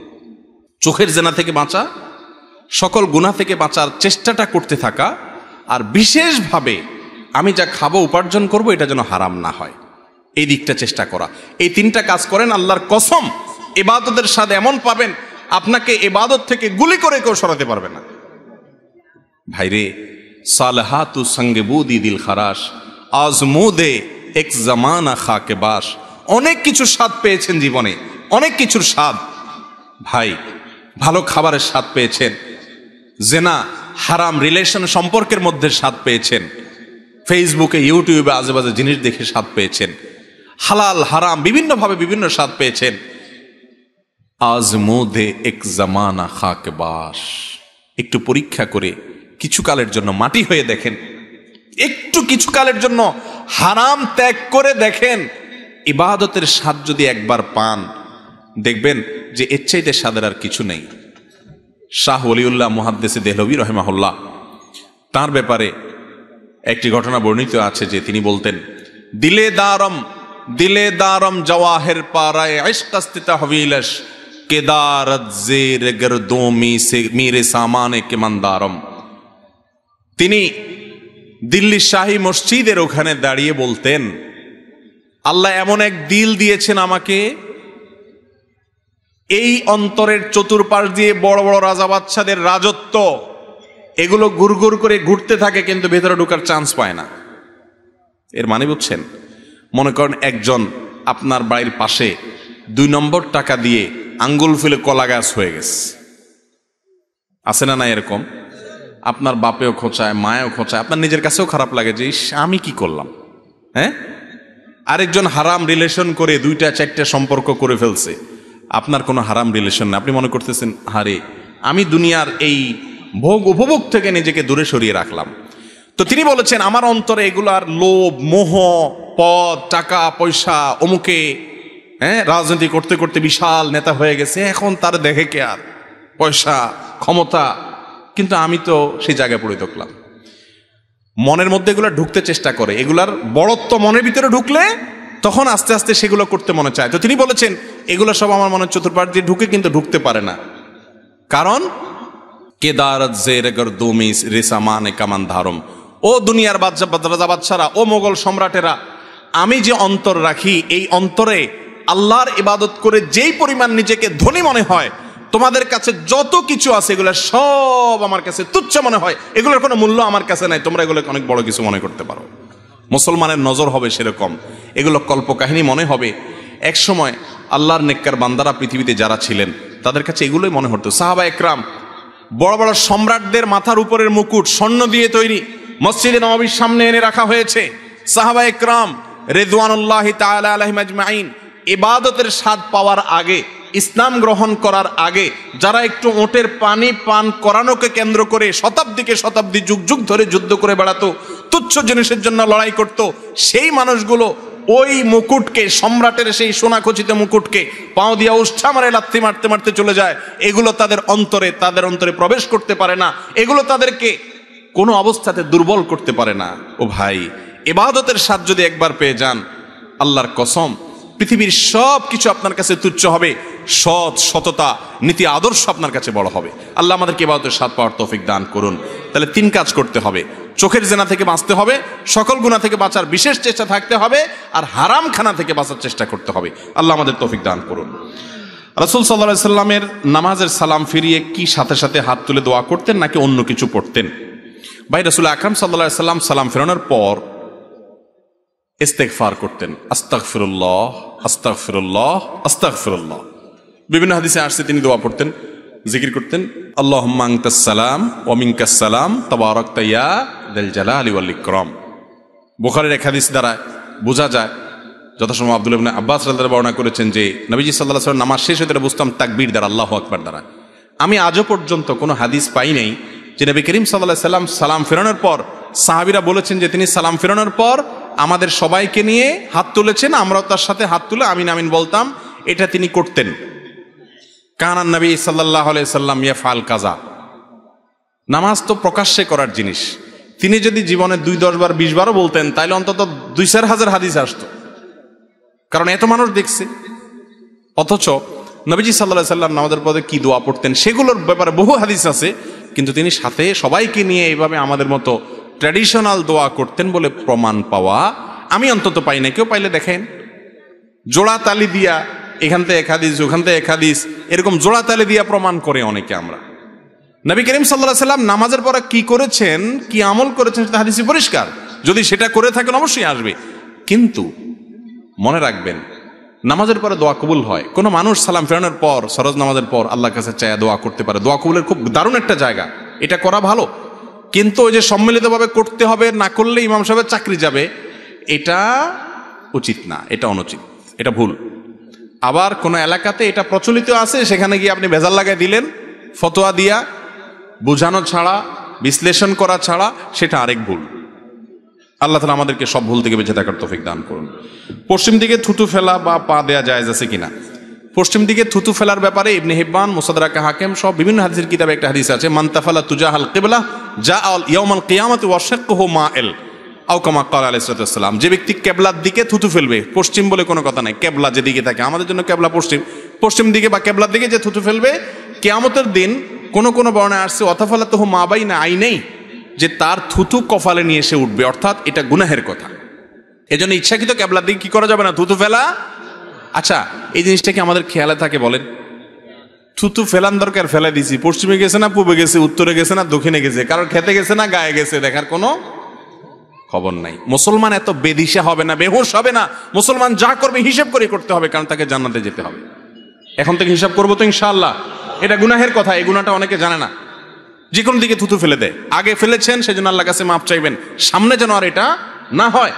পশ্চিম দিকে থুতু ফেললে কি হয়? খুব ভয়াবহ একটা বিষয়। আল্লাহ তালা আমাদেরকে বাঁচার তৌফিক দান করুন। তাহলে কোন দিকে ফেলবেন? থুতু ফেলার জন্য সবচেয়ে উত্তম এবং সুন্না হলো নিজের বাম দিকে, নিচের দিকে। নিজের বাম দিকে নিচের দিকে যদি ফেলানোর জায়গা থাকে, বাম দিকে পরিবেশ নাই, ডান দিকে ফেলেন, তবে নিচের দিকে ফেলবেন। যদি ক্যাবলা সামনে থাকে ক্যাবলার দিকে ফেলবেন না। অন্য কোনো দিক থাকলে সামনে ফেলতে পারেন, অসুবিধা নেই। তবে সুন্না হলো নিচের দিকে ফেলানো। এরপরে প্রশ্ন হলো, বাথরুমে আল্লাহ তালার নাম উচ্চারণ করা যাবে কিনা? বাথরুমে আল্লাহর নাম নেওয়া মাকরুহ, অনুচিত। আল্লাহর নামের অসম্মান হয়। মনে মনে আল্লাহর জিকির করতে পারেন। বাথরুমে অজু করা যাবে কিনা? এই মাস আল্লাহর উত্তর দিতে দিতে একেবারে কাহিল অবস্থা। বা বাথরুমে অজু করলে কোনো গুণা হবে? অজু হবে না এরকম কোনো বিষয় না। তবে টয়লেটের ভিতরে যেখানে টয়লেটের প্যান, কমোড এবং আপনার বেসিন বা আপনার টেপ একই জায়গায় সেখানে অজুর আগে বিসমিল্লা বলবেন। ওই যে একটু আগে বললাম, টয়লেটে বিসমিল্লা বলতে নাই, তাহলে বিসমিল্লা বলে অজু করলে আল্লাহর নামের অসম্মান হয়, সেজন্য বাইরে অজু করবেন। আর বাইরে যদি অজু করার ব্যবস্থা না থাকে, বেসিন থাকে, পা ওঠানোর সুযোগ নাই। তো হাতটা ধুয়ে বিসমিল্লা বলে শুরুটা করেন, বাকিটা ওখানে করেন, এরপর তো আর বিসমিল্লা নেই, শুরুতে একবার বিসমিল্লা আছে। আর যদি টয়লেটেই অজু করতে চান, বাইরে কোনো ব্যবস্থা নাই বা ঝামেলা মনে হয়, তাহলে বিসমিল্লাটা মনে মনে বলেন। আর যদি মুখেও বিসমিল্লা বলেন, অজু হয়ে যাবে। টয়লেটে অজু করলে অজু হবে না, এরকম কোনো মাসালা নাই। এ বিষয়ে আমার একটা মাসালা আছে, পুরোটা না শুনে অনেক সময় ভুলটা বুঝে বলে থাকেন যে আপনি বলছেন, বাথরুমে অজু করলে অজু হবে না। আমি কোনোদিন এটা বলি নাই, পুরো জিনিসটা শুনতে হবে। জি। অজুর পরে আয়না কিংবা কোনো প্রাণের ছবিও টিভির দিকে তাকালে অজু ভাঙবে কিনা? না, এগুলো অজু ভঙ্গের কোনো কারণ নাই। এমনকি টেলিভিশন দেখলেও কি হবে না? অজু ভঙ্গ? টেলিভিশনে হারাম কিছু দেখলে গুণা হবে, সেটা আরেক জিনিস। কিন্তু অজু ভাঙবে না, অজুর সাথে এটা সম্পর্ক নেই। মহিলারা নামাজ আদায়ের সময় শরীরের কতটুকু অংশ ঢাকতে হবে? মাথা থেকে পা পর্যন্ত পুরাটুকু ঢাকবে, শুধু মুখমণ্ডলটুকু খোলা থাকবে, দুই হাতের কবজি খোলা থাকবে, দুই পায়ের পাতা খোলা থাকতে পারে। বুঝতে পারছেন কথা? এর বাইরে সব কিছু ঢেকে রাখতে হবে। ফেসবুকে একটা যোগাযোগের মাধ্যম ফেসবুকে যদি কোনো অপরিচিত মেয়ের সাথে শুধুমাত্র পরিচিত হওয়ার জন্য মেসেজ করা হয়, তাহলে কি গুণা হবে? কোনো অপরিচিত মেয়ের সাথে বিনা প্রয়োজনে কেন মেসেজ দিতে যাবেন পরিচিত হওয়ার জন্য? ভাইরা আমার, শয়তান প্রথম বলে যে একটু শুধু জিজ্ঞেস করো। জিজ্ঞেস করো, হাই, হ্যালো করো। এরপরে শুরু হয়, হাই, হ্যালো এরপরে আস্তে আস্তে জিজ্ঞেস করে, বাড়ি কোথায়? খায় কি? আস্তে আস্তে আস্তে শয়তান নিচের দিকে নামাইতে থাকে। এরপরে এমন জায়গায় নিয়ে যায়, যেখান থেকে আর ফিরে আসার সুযোগ থাকে। যুবক ভাইয়েরা ভালো করে শুনে রাখেন। এই যৌবন যে আল্লাহ দিয়েছেন, ওই আল্লাহর ভয়ে এই হারাম জায়গায় যৌবনকে ব্যয় করবেন না। একটু শক্ত থাকেন, দেখবেন কেয়ামতের ময়দানে যেমন সুখ পাচ্ছেন, দুনিয়াতে দাম্পত্য জীবনে প্রচণ্ড সুখ পাচ্ছেন ইনশাআল্লাহ। আর যদি এই ইটিস পিটিস করে, দুই নাম্বারই করে নিজের যৌবনকে নষ্ট করেন, তো আসল সময়ে যৌবনের কি পাবেন না, উপকার পাবেন না। আমার মনে হচ্ছে ইসলামের বিধান অনুযায়ী আমার বিবাহ করা ফরজ। কিন্তু আমি স্টুডেন্ট, তাই মা বাবাকে বলতে পারছি না। এখন আমার করণীয় কি? আপনার মা বাবাকে আমার কাছে নিয়ে আসেন। আমার কাছে নিয়ে আসেন যদি আনতে পারেন কোনো মাতে, ইনশাআল্লাহ চাচা চাচিকে আমি বুঝাই নেব। ইনশা আল্লাহ ইনশা আল্লাহ আর আমার কাছে যদি নিতে পারেন কোনো ভালো আলেম যিনি বিবাহের ফজিলত বুঝে, গুরুত্ব বুঝাতে পারে, চাচা চাচিকে বুঝাবে, তার কাছে ধরে নিয়ে যান মুরব্বীরে। বুঝতে পারছেন? ভাইরা আমার এই কথা আমি সবসময় বলি, সব জায়গায় বলি। আমার কথা না, নবী করিম সাল্লাহ সাল্লামের কথা। বিবাহ যদি দেরিতে করা হয়, সমাজ অশান্তিতে ভরে যাবে। এরপরেও বাপ মারা বুঝতে চান না এগুলা। আমাদের যুবকরা জেনা করতে চায় না, হালাল সম্পর্ক রাখতে চায়। উপার্জন করে না। আমার কথা হলো, যে যুবকরা উপার্জন করে না, এই অজুহাতে তাদের বাবা মা বিয়ে দেয় না, যে নিজের পায়ে দাঁড়াও। মানে অনেক পয়সা করি কামাও। চাকরি টাকরি করো, তারপরে বিয়ে করো। আমার কথা হলো যুবক যদি বিবাহের উপযুক্ত হয়ে যায়, উপযুক্ত ভালো পাত্রী পাওয়া যায়, বিবাহের আগদটা করে দেন মেয়ে মেয়ের বাড়ি থাকুক, ছেলে ছেলের বাড়ি থাকুক। একটা সম্পর্ক তৈরি হোক, হালাল সম্পর্ক। যেদিন উপার্জন করবে, চাকরি পাবে, ব্যবসা করবে, সেদিন সে মেয়েকে ঘরে তুলে এনে নিয়মতান্ত্রিক সংসার করবে। অন্তত সম্পর্কটা থাকুক। এমনিও সম্পর্ক করবে, হারাম সম্পর্ক করবে, তাহলে সেটা হালালভাবেই হোক। ঠিক না বে, ঠিক? এটা যদি বাবা মারা বুঝেন, তাহলে তো সমস্যার সমাধান হয়। আল্লাহ তালা আমাদের বাবা মা এবং চাচা চাচাদেরকে হেদায়ত দান করব না আমিন। আমি একবার ঢাকায় কোনো একটা প্রোগ্রামে ছিলাম, আমি অবাক হয়েছি। পল্টনে একটা হোটেলের উদ্বোধনী অনুষ্ঠানে। তো এক বাপ ছেলে দোনোজন আসছে আয়সার সাথে বলল, আমাকে চিনে, ভিডিও দেখে, বক্তব্য শুনে, ভালো কথা। ছেলে, বাপে বলল, আমার ছেলে। সাথে সাথে ছেলে আমাকে বলল, হুজুর, আব্বু সামনে আছে। আব্বুকে বলেন, আমাকে বিয়ে দিতে বহু বলছি, কোনো কথা শুনে না। হুজুর, আপনি জীবনে আপনার এভাবে পাবো কল্পনা করি নাই, এখন আপনি ধরেন আব্বুকে বুঝান। আমি চিন্তা করলাম সোবাহান আল্লাহ এই ছেলের কপালে আজকে বাড়িতে মায়ের কি পরিমাণ আছে, আল্লাহ ভালো জানে, তবে সে সাহস করছে মাশাল্লাহ তো যাই হোক, আমাদের বাবা মাদের এগুলো বোঝা উচিত এবং আলেমরাও এগুলোর গুরুত্ব বোঝাবেন। যে সময় হয়ে গেলে আর বিলম্ব করবেন না, ধ্বংস হয়ে যাবে। এরপরে ছেলে যখন দুই নম্বর পথে যাবে, মেয়ে দুই নম্বর পথে যাবে, তারপর এসে হুজুরের কাছে তাবিজ চাইবেন, হুজুর, ছেলে তো ওই সকিনার হাত ধরে চলে গেছে। মেয়ে তো ওই লিটনের সাথে চলে গেছে। এরপরে হুজুরের কাছে দোয়া চাইবেন, আপনি কাজ করবেন উল্টা পাল্টা। এরপরে দোয়া চাই, কি কাজ হবে? আল্লাহ তালা আমাদের মুরব্বীদের বোঝার তৌফিক দান করুন। আমরা দিনের দায়ী হতে চাই। তো আমরা কীভাবে শুরু করব? দিনের দায়ী হওয়ার জন্য এক নম্বর কাজ হলো যেটুকু শুনেছেন, ভালো করে, সঠিকভাবে, যাচাই বাছাই করে, প্রয়োজনে কয়েকজন আলেম থেকে শুনে, বই পুস্তক পড়ে কর্নাদিস পড়ে, যাচাই বাছাই করে, যেটুকু জানছেন, সেটুকু বলবেন। আন্দাদুন্দা বলবেন না। অনেক সাধারণ ভাই ভাইরা আছেন আজকাল। কোরআন হাদিসের কিছু কথা, কিছু হাদিস কোরআন জানার পরে এমনভাবে ইসলাম প্রচার শুরু করে, বিরাট শেখ বিরাট আলেম হয়ে যায়, হুজুরের উপরে বড় হুজুর সে। এই রোগ আছে না নাই? তাদের ফতোয়া শুনলে আল্লাহ আকবার। হুজুররা টাস্কি খেয়ে বসে থাকে, এরকম ফতোয়া দিয়ে বসে থাকে।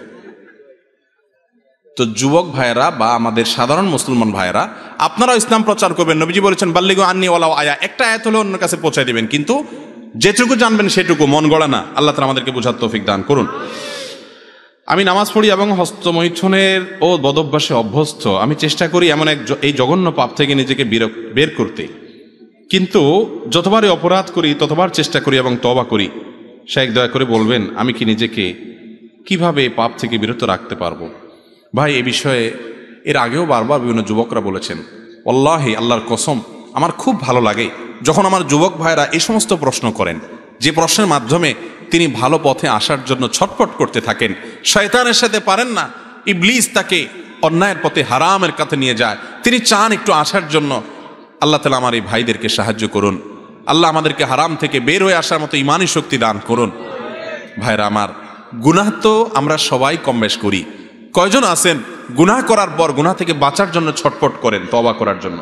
তো এই সমস্ত ভাইয়েরা, যারা তবার জন্য ছটপট করেন, আমি তাদের ব্যাপারে সুধারণা রাখি। আমার আল্লাহ তাদেরকে তবার তৌফিক দিবেন ইনশা আল্লাহ যারা পাপ করার পর, অপরাধ করার পর কোনো সেন্স নাই, কোনো হিতে হিত, কোনো ভালো মন্দ ধারণা নেই অপরাধ বোধ নেই, অপরাধের অদৃশ্য দাহন তার ভিতরে হয় না।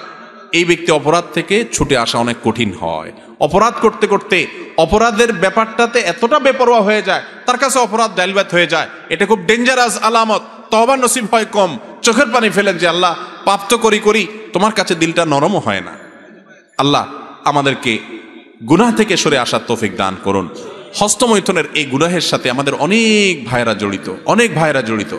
অনেক ভালো কাজ আছে, কিন্তু এখান থেকে বাঁচতে পারে না। ভাই, এক নম্বর কথা হলো, মোবাইল থেকে সমস্ত খারাপ জিনিস ফরম্যাট করে ডিলিট করে দেন। যদি সৎসাহস না থাকে বা মনে হয় যে আবার মোবাইলে সেটা চলে আসবে, মোবাইলটা বিক্রি করে একটা বাটনওয়ালা মোবাইল নেন, যেখানে কিছু থাকবে না। একটু কঠিন হবে, কিন্তু হিম্মত করে আল্লাহর জন্য ত্যাগ করেন না। একটু ত্যাগ করলে, প্রিয় মানুষের জন্য ত্যাগ করলে ভালো লাগে। আল্লাহর জন্য ত্যাগ করলে আপনার ভালো লাগে কাজ করবে। এর পাশাপাশি নির্জনতা অবলম্বন করবেন না। হস্তমৈথুন যারা এই বদভ্যাসে অভ্যস্ত হয়, নির্জন কক্ষে থাকলে তখন এই বদভ্যাসে অভ্যস্ত হয়। নির্জন থাকবেন না। বন্ধুবান্ধব, মুরব্বী এবং বাপমা ভাই বোন সবার মধ্যে থাকবেন। একাকিত্ব অবলম্বন করবেন না। কারণ একাকিত্ব হলে শয়তান এটা করা। বেশি না, দু চার মাস যদি একটু কষ্ট করে স্ট্রাগল করে মোবাইল টোবাইল ফেসবুক ইউটিউব এগুলো থেকে সরে থাকতে পারেন, হারাম সম্পর্ক থেকে দূরে থাকতে পারেন, খারাপ জিনিস দেখলে মানুষ হস্তমৈথুনের দিকে বেশি যায় যুবকরা। খারাপ জিনিস যেন দেখতে না পারেন, সে রাস্তা বন্ধ করে ফেলেন। বেশি না, একটা মাস এক্সারসাইজ করেন ইনশাল্লাহ অবদবার দূর হয়ে যাবে। আর আল্লাহর কাছে দোয়াও করবেন, চোখের পানি ফেলবেন, মালিক, আমি সরে আসতে চাই, তুমি সাহায্য করো। আল্লাহ তালা আমাদেরকে সেরকম হিম্মত এবং শক্তিশালী দান করেনি মানি রুকু থেকে দাঁড়িয়ে দুই সেজদার মাঝখানে এবং রুকু সেজদার দেরি না করলে নামাজ হবে কিনা? সেজদার মাঝখানে এবং এই সময়গুলোতে যদি কেউ সোজা হয়ে না দাঁড়ায়, নামাজ হবে না। নামাজ হবেই না। অনেকে আছে রুকু থেকে, এইভাবে একটু সোজা হয়ে আবার সাথে সাথে সেজদা চলে যায়। সেজদা থেকে সোজা উঠতে না, বসতে না বসতে আবার সেজদা চলে যায়। নামাজ হবে না, সাফ কথা। আমার কথা না, সারা বিশ্বের সমস্ত আলেমদের মত এটা। কথা কি বুঝতে পারছেন? এত ডেঞ্জারাস বিষয়। তুফান মেল যারা নামাজ পড়েন, তারা ভালো করে শুনে রাখেন। এক ব্যক্তি এরকম নামাজ পড়ছে, নবীজি ডাকছেন। ডেকে বলছে আবার নামাজ পড়ো। কয়েকবার পড়াইছে, উনি যাই এরকম তাড়াতাড়ি করে পড়ায় উনি বুঝেন না? তখন নবীজিকে তিনি বললেন ইয়ারসল্লাহ আমি তো ইচ্ছে ভালো পারি না। তখন তিনি বললেন, রুকু থেকে উঠে সোজা টান টান হয়ে দাঁড়াবা।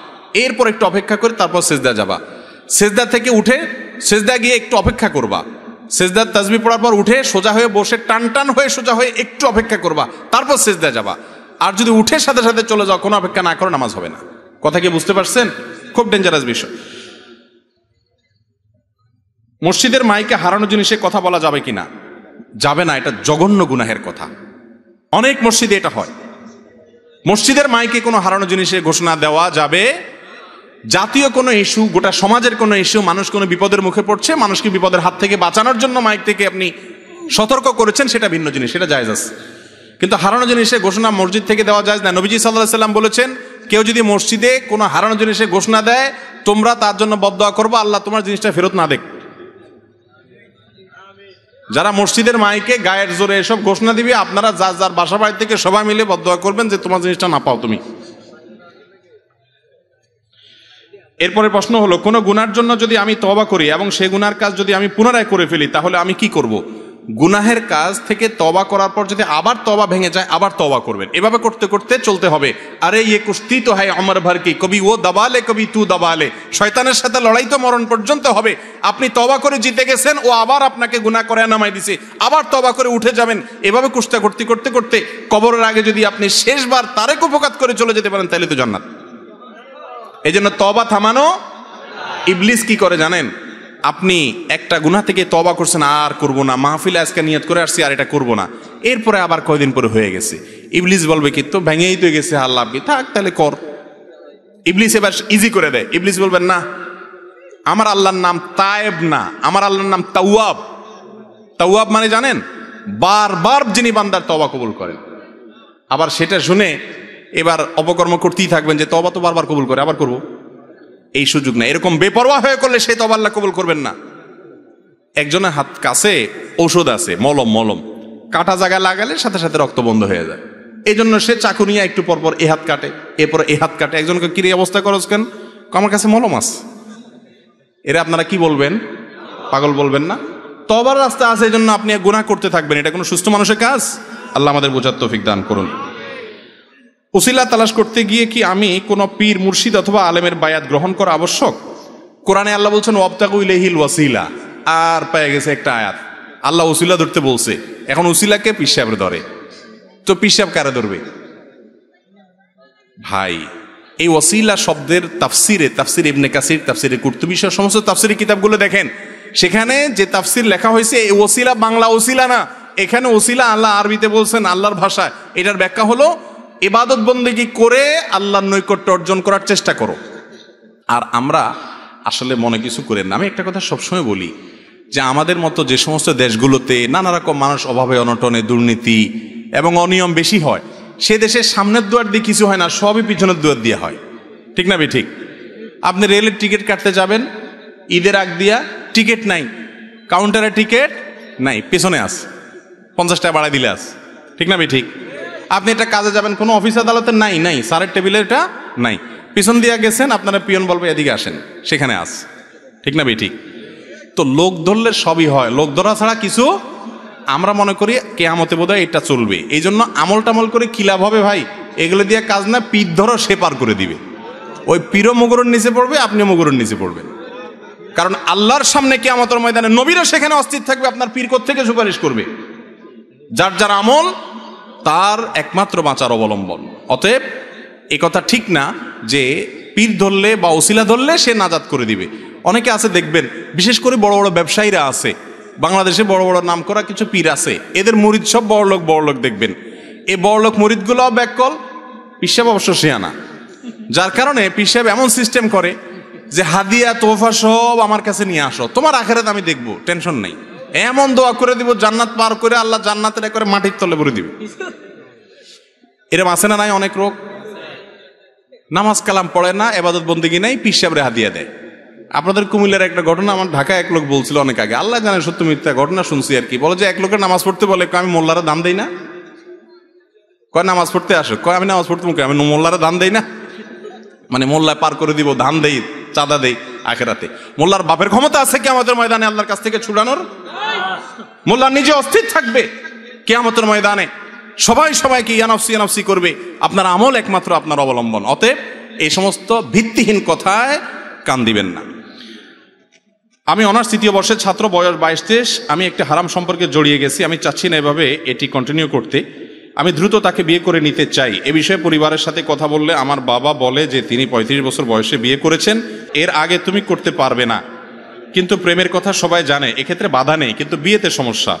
আর আয়ের কথা বললে, আলহামদুলিল্লাহ, বাবার পজিশন ভালো, ওনার ব্যবসা বাণিজ্য আছে। আমি আপাতত সেগুলো দেখাশোনা করছি। আর তাছাড়া পড়াশোনা করা ছেলে আমি। গ্রাজুয়েশন কমপ্লিট করে ভালো চাকরি করতে পারব ইনশাল্লাহ এক্ষেত্রে আমার করণীয় কি? আল্লাহ তালা হেদায়ত দান করুক, বাপ বলে পঁয়ত্রিশ বছর বিয়ে করছে। এটা তো মিলে না কথা। আগের যুগের মুরব্বীরা কি এত দেরিতে বিয়ে করতো? খুব কম। খুব কম। আমি তো জানি আগের যুগে এত দেরিতে বিয়ে হতো না। আগের যুগে বিয়ে আগে হতো। তখন চাচি, দাদি, নানি ওনারা, নানারা, ওনারা আমাদের এখনকার যুগের মানুষের চাইতে অনেক সুস্থ। এখন তো বিশ তিরিশ বছর যাতে যাতে আমরা হুকুর হুকুর কাশতে কাশতে শেষ। আর মুরব্বীরা মাশাল্লাহ দেখবেন আমাদের চেয়ে শক্ত আল্লাহর রহমতে। তো যাই হোক, এটা কোনো সঠিক কথা না। একটু আগে এই বিষয়ে বিস্তারিত বলছে, এখন আর রিপিট করতে চাই না। আল্লাহ তালা আমাদেরকে হেদায়ত দান করুন। মহিলাদের শরীরের মাপ নিয়ে কাপড় সেলাই করা যাবে কিনা? যারা টেইলার্স আছেন ভাই মহিলাদের কাপড়ের ব্যাপারে মনে রাখবেন, কাপড়, তাদের রেডিমেড বাসা থেকে কোনো কাপড় আনলে সেটার মাপ নিয়ে কাপড় বানাবেন। তাদের শরীর থেকে সরাসরি টাচ করে মাপ নেবেন না। যদি নিতে হয় হয় কোনো মহিলাকে ব্যবহার করবেন, আর না হলে যাতে করে পর্দার খেলাপ কোনোভাবে না হয়, টাচ করে আপনি কাপড়ে মাপ নিবেন না। এ ব্যাপারে মা বোন যারা আছেন, আপনারা যারা তাদের অভিভাবক পুরুষরা আছেন, আপনাদের আত্মসম্মান বোধ থাকা উচিত আপনার স্ত্রী কাপড়ে মাপ দিতে যাবে। ওই টেইলার্স বেটা তার শরীরে যখন হাত দিয়ে মাপ নিতে যাবে, তার মনে বাজে চিন্তা আসবে, ওনাকে নিয়ে উনি জেনা করবে মনে মনে। কীভাবে আপনি সেটা দিতে পারেন? আমি তো এটা চিন্তা করতে পারি না। কোনো আলেম বা কোনো দিনদার মানুষ তো এটা চিন্তা করতে পারে না। কাপড় দিয়ে দিবেন, তাতে একটু উনিশ বিশ হবে, হোক না তাতে কি। আবার করবেন দরকার হলে। কথা কি বুঝাতে পারছি? সেকুলার শিক্ষা ব্যবস্থায় পড়তে গিয়ে সেখানে আমাদের ইসলাম বিরোধী অনেক থিওরি গেলানো হয়। যেমন নারীবাদ, নারী সহিংসতার পেছনে পর্দা প্রথা ধর্মীয় গোড়ামিকে দায়ী করা হয়। এছাড়া মৌলবাদ পড়ানোর নামে পরোক্ষভাবে এটা বোঝাতে চায় যে ইসলাম মানেই মৌলবাদ। এখন আমাদের পরীক্ষা পাশ করার জন্য এগুলো পড়তেও লিখতে হয়। এক্ষেত্রে আমাদের করণীয় কি? পরীক্ষা পাশ করার জন্য এগুলা আপনি পড়ছেন, আপনি জানলেন যে শিক্ষার নাম দিয়ে কুশিক্ষা যে আছে, এগুলো আপনি জানলেন। সেই ধারণা নেওয়ার জন্য আপনি পড়েছেন, কিন্তু আপনার এগুলোর প্রতি বিশ্বাস নাই। বরং কীভাবে এগুলো থেকে সমাজকে মুক্ত করা যায় সেই চিন্তা আপনি করছেন। ইনশাল্লাহ এরকম উদ্দেশ্য যদি থাকে পরীক্ষায়, এগুলো লিখলে গুণা হবে না। আল্লাহ তালা আমাদের শিক্ষা ব্যবস্থাটাকে এই ধরনের ধ্বংসাত্মক বিষয়গুলো থেকে হেফাজত করার তৌফিক দান করুন। সংশ্লিষ্টদের কাছে আমাদের আবেদন, পর্দাকে যদি কেউ প্রথা বলে, পর্দাকে যদি কেউ তাচ্ছিল্য করে, সে সাথে সাথে বেইমান হয়ে যাবে। কারণ সুরায় নূর সুরায় আহজাব এই সমস্ত সুরার বিভিন্ন আয়াতের আলোকে পর্দা করা ফরজ। আল্লাহর এই ফরজ বিধান না মানার কারণে পৃথিবীতে সমস্ত অশান্তি বিভিন্ন দেশে শুনবেন যে মেয়েদের প্রতি পাশবিক নির্যাতন, ধর্ষণ, এগুলো থামাইতে পারে না। পরে বলে কি, ভারতেই বোধহয় দেখছি কোন রাজ্যে নিয়ম করছে যে মেয়েরা প্যান্ট পরতে পারবে না, জিন্সের প্যান্ট। কেন? কারণ সে নিজেকে অশ্লীল, অশ্লীলভাবে উপস্থাপন করার কারণে এই নির্যাতনের ঘটনা ঘটে। অতএব আসতে হবে কোথায়? ঘুরে ফিরে ইসলামে। উপায় নাই। ওই জায়গায় আসতে হবে। স্ত্রীকে তালাক দেওয়ার পর তবা করে আবার ফেরত আনা যাবে কিনা, তালাকের সঠিক মশালা জানতে চাই। তালাক দেওয়ার পর তবা করে তালাক আনার কোনো সিস্টেম নাই। কাবা শরীফের ইমাম সাহ মদিনার ইমাম সাহ মুকাররমের ইমাম সাহ তিনে ইমাম মিলা যদি তওবা পড়ে, তারপরও তালাকের পর আর ফেরত আনার কোনো সিস্টেম তালাক যদি দেওয়ার সময় হিসেব করে তালাক দেন, তাহলে ফেরত আনবে। এবার ইনশাল্লাহ ওয়াজে একটা জায়গায় ওয়াজ করব, শুধু তালাক নিয়ে আমার চিন্তা আছে, প্ল্যান আছে। কারণ এই দেশে মানুষ তালাক দিতে গিয়ে এত বেজাল করে, যেটা বলার মতো না। মনে রাখবেন, কখনো ভুলেও কেউ কারও স্ত্রীকে তিন তালাক, এটা মুখের বাহিরে আনবেন না, এটা আনা গুনা হারাম। নাজায়েজ কাজ। স্ত্রীকে তালাক দেয়া লাগলে সর্বোচ্চ এক বলবেন, আমাদের যখন জোশ উঠে শরীরে, রক্ত যখন উঠে যায় মাথা, কিসের তিন তালাক? তয় তিন হাজার তালাক, বেগুন তালাক হ্যাঁ? সিম তালাক, স্ত্রীর তালাক, তার বাপ মা চোদ্দ গোষ্ঠী সহ তালাক। মাথা নষ্ট হয়ে কি বলে, নিজেও ঠিক থাকে না, ঠিক না বে ঠিক। ধৈর্য শুধু মারা উচিত। আমার এক ওস্তাদ ছিলেন খুলনাতে এফতা পড়ছি যার কাছে। ওনার কাছে তালাকের মাসালা জিজ্ঞাসা করতে আসলে আমরা দেখতাম একটা ব্যাট থাকতো। কথাবার্তা পরে, আলোচনা পরে, মাসালা পরে শুনতেন। আগে গদির নিচতে ব্যাটটা বাইর করে ধুমায়া পিটে নিতেন এরপরে বলতেন, বলো মাসালা কি? কিছু হইলেই বউ তালাক, কিছু হইলেই বউ তালাক তালাক তালাক, চোদ্দ গোষ্ঠী ধরে তালাক। একাধিক বেশি তালাক, একটা তালাক দিলে ফেরত নিতে পারবেন। দ্বিতীয় তালাক দিয়েছেন তবুও ফেরত নিতে পারবেন। কিন্তু তিনটা দিয়ে ফেলেছেন, আর ফেরত নেওয়া যাবে না। একসাথে তিনটা তালাক দেওয়া গুণা চরিত্রহীন কোনো ব্যক্তিকে ভোট দিয়ে নেতা বানানো যাবে কিনা, যার চরিত্র ভালো নাই, এরকম ব্যক্তিকে নেতা বানালে গুণা হবে। কারণ সে নিজের চরিত্রহীন, সে নেতা নেতা হয়ে চরিত্রহীন কাজ করবে, কোনো ভালো কাজ করবে না। এটা যারা দায়িত্ব এই আমানতের খেয়ানত করবে, তারা প্রত্যেকের জন্য দায়ী হবে এবং গুণাগার হবে। আমাদের সমাজে মসজিদগুলোতে বাচ্চারা আসে, কিন্তু একটু দৌড়াদৌড়ি করলে বা দুষ্টুমি করলে বয়োজ্যেষ্ঠরা ওদেরকে ধমক দেয়। মনে হয় ওরা অনেক বড় অপরাধ করে ফেলেছে। বাবারা, মুরব্বীরা যারা আছেন আমাকে শুনতেছেন, করজোড় করে আপনাদের কাছে বলি, এই কাজটা করবেন না, আল্লাহর কাছে অপরাধী হবেন। বাচ্চারা মসজিদে এসে যদি দুষ্টামিও করে, নিজে নিজে হজম করবেন। বেশি দুষ্টামি করতেছে, বাচ্চার বাপকে ডেকে এনে আলাদা বুঝাই দিবেন, যে বাচ্চারা তুমি কন্ট্রোল করো। বাচ্চাকে ধমক দিবেন না, কারণ বাচ্চা মসজিদ থেকে ধমক খাইতে খাইতে মনে করবে যে সমাজের সবচেয়ে খারাপ লোকগুলো মসজিদেই থাকে। ও মসজিদে আর আসবে না। আজকের বাচ্চা আগাদিমের মুসল্লি, সে কি বুড়া হয়ে মসজিদে আসবে নাকি? ছোটবেলা থেকে মসজিদে না আসলে নবীজি সাল্লাহ সাল্লাম সেজদা গেছেন, তার কাঁধের উপরে তার নাতি উঠে বলেছেন রাজি আল্লাহ তালা আনহু, নবীজি সাল্লাহ সাল্লাম অপেক্ষা করেছেন, নাতির শখ মিটে গেছে ঘোড়ার উপরে বসা, এরপরে নিচে নামছে তারপরে নবীজি সাল্লাহ সাল্লাম মাথা উঠাইছেন। হাদিসে এটা পাওয়া যায় না। এই সেজদা শেষ করে, নামাজ শেষ করে ফাতেমা রাদিয়াল্লাহু তাআলাকে ডেকে এনে দমক দিয়েছেন, এই মেয়ে, কেন নাতিকে ধরো নাই? আমার নামাজে ডিস্টার্ব হয়েছে, এটা তিনি বলেন নেই। বাচ্চাদের এটুকু ডিস্টার্ব হজম করার ক্ষমতা থাকতে হবে। কেউ কেউ বলে, আমাদের আইয়ুব নবী বিবাহের আগে প্রেম করেছেন, তাহলে আমাদের কেন হারাম হবে? বিবাহের আগে আমাদের প্রেম ভালোবাসা হালাল করার কোনো পদ্ধতি আছে কিনা? আউজুবিল্লাহ মিনাশ শাইতানির রাজিম। এটা কেমন কথা রে ভাই? ভালো করে শুনেন, হাসির কথা না। আল্লাহর নবী তার ব্যাপারে যে মিথ্যা অপবাদ দিয়েছেন ভাই, প্রথম কথা হলো আপনি তবা করেন। আল্লাহর কোন নবী, কোন গুনাহে ঠান্ডা মাথা, এই যে এই ধরনের গুনাহ যেগুলো নবীর নবুয়াতের উপরে ত্রুটি হতে পারে বা যে কোনো ধরনের গুনাহ, আল্লাহ তালা এগুলো থেকে তাদেরকে মাসুম রেখেছেন। কোন গুনাহে, এই যে আপনি একটা অপবাদ দিলেন কথা ইসুফ আলাহিসামের কথা অনেকে বলে, এগুলো ডেঞ্জারাস অপরাধ, মহা অপরাধ। ইমান যাওয়ার মতো কথা যদি তামাশা করে বলেন, খবরদার। আল্লাহর কোন নবী এরকম কাজ করেন নাই। আইব আলাইসালামের ব্যাপারে অনেকগুলো ইসরায়েলি রেওয়ায়ত পাওয়া যায়। ইয়াহুদিদের বর্ণনা, সেগুলোতে এ ধরনের অনেক কথা বলা আছে যেগুলো অত্যন্ত ভয়াবহ এবং সঠিক নয়, ভুল, হারাম জিনিস। আল্লাহ আমাদেরকে বাঁচার তৌফিক দান করুন। নিজে আকাম করবেন, আবার নবীকে টানতেছেন সেটার জন্য। বাংলাদেশে উম্মতের ঐক্য, ঐক্যের জন্য সাধারণ মুসল্লিরা কি ভূমিকা পালন করতে পারে? আর আলেম সমাজ কি ভূমিকা পালন করতে পারে? এটা তো দুই ঘণ্টার ওয়াজ, সময় নাই। শুধু এটুকু বলি, আপনারা সাধারণ মানুষ হুজুরদের মধ্যে লাগালাগি করবেন না, মেহরবানি করে। ক্যামেরালার ভাইরা আল্লাহর ওয়াস্তে গুতাগুতি লাগাবেন না, খোঁচাখুচি করবেন না। আর আলেম ওলামারা ওনারা যদি কেউ খোঁচাখুচি করে, তাহলে সেই আলেমকে বর্জন করবেন। কথা কি বুঝতে পারছেন? যে আলেম খোঁচাখুচি করে কামড়া কামড়ি করে, ঝগড়াঝাটি করে সারাদিন, সে আলেমকে বাদ দিয়া যে আলেম কোনাদিসের কথা বলে ঝগড়াঝাটি করে না, ভুল হলে অবশ্যই আছে, আমি ভুল হলে আরেকজন বলবেন, কিন্তু বলার সিস্টেম আছে। ইসলাম আমাদেরকে অসুন্দরভাবে কিছু করতে বলে নাই। আমাদের দেশটা যেন শান্ত থাকে, স্থিতিশীল থাকে, অশান্ত যেন না থাকে, সে দায়িত্ব আমাদের। জামাতে অজু ছুটে গেলে করণীয় কি? অর্থাৎ জামাতে দাঁড়াইছেন, অজু ছুটে গেলে অজু করে এসে বাকি নামাজ, বাকি সেখান থেকে কন্টিনিউ করতে পারবেন। ইমাম সৌসেদা দিলে মাজবু ব্যক্তি কীভাবে আদায় করবে? ইমাম সৌসেদা দিলে মাজবুককে সৌসেদা দিতে হবে। তারপরে সে কি করবে? বাকি নামাজ শেষ করবে। বিদেশ থেকে শ্রমিকরা ব্যাংকের মাধ্যমে টাকা পাঠায়। বর্তমানে বিভিন্ন ব্যাংক তাদের পাঠানো টাকার সাথে দুই পার্সেন্ট না আড়াই পার্সেন্ট অতিরিক্ত টাকা দিচ্ছে। এটা কি সরকার দিচ্ছে? প্রণোদনা হিসেবে নাকি ব্যাংক দিচ্ছে? এটা সরকার দিচ্ছে ব্যাংক দিচ্ছে না, এটা সুদ হবে না, এটা খাওয়া সম্পূর্ণ হালাল। সরকার সঠিক ওয়েতে টাকা পাঠানোর জন্য এটা প্রণোদনা দিচ্ছে। এই টাকাটা গ্রহণ করাতে কোনো অসুবিধা নাই। ইসলামের বিধিবিধান পুরোপুরি না মানা ব্যক্তি কি ইসলামের দাওয়াতের কাজ করতে পারবে? যে যতটুকু জানে, সে ততটুকু দাওয়াতি কাজ করতে পারবে। পুরোপুরি ইসলামের বিধান কেউ মানতে পারে না, আমরা চেষ্টা করি সবাই। অতএব দাওয়াতি কাজ করতে পারবে। যদি বলেন যে হান্ড্রেড পার্সেন্ট মানতে হবে, তাহলে কেউ দাওয়াতি কাজ করতে পারবে না। পরিবারের বাবা চাচাদের মাঝে দ্বন্দ্ব, কীভাবে সবাই মিলেমিশে থাকতে পারি? বাবা চাচাদের দ্বন্দ্বে সন্তানরা জড়াবেন না।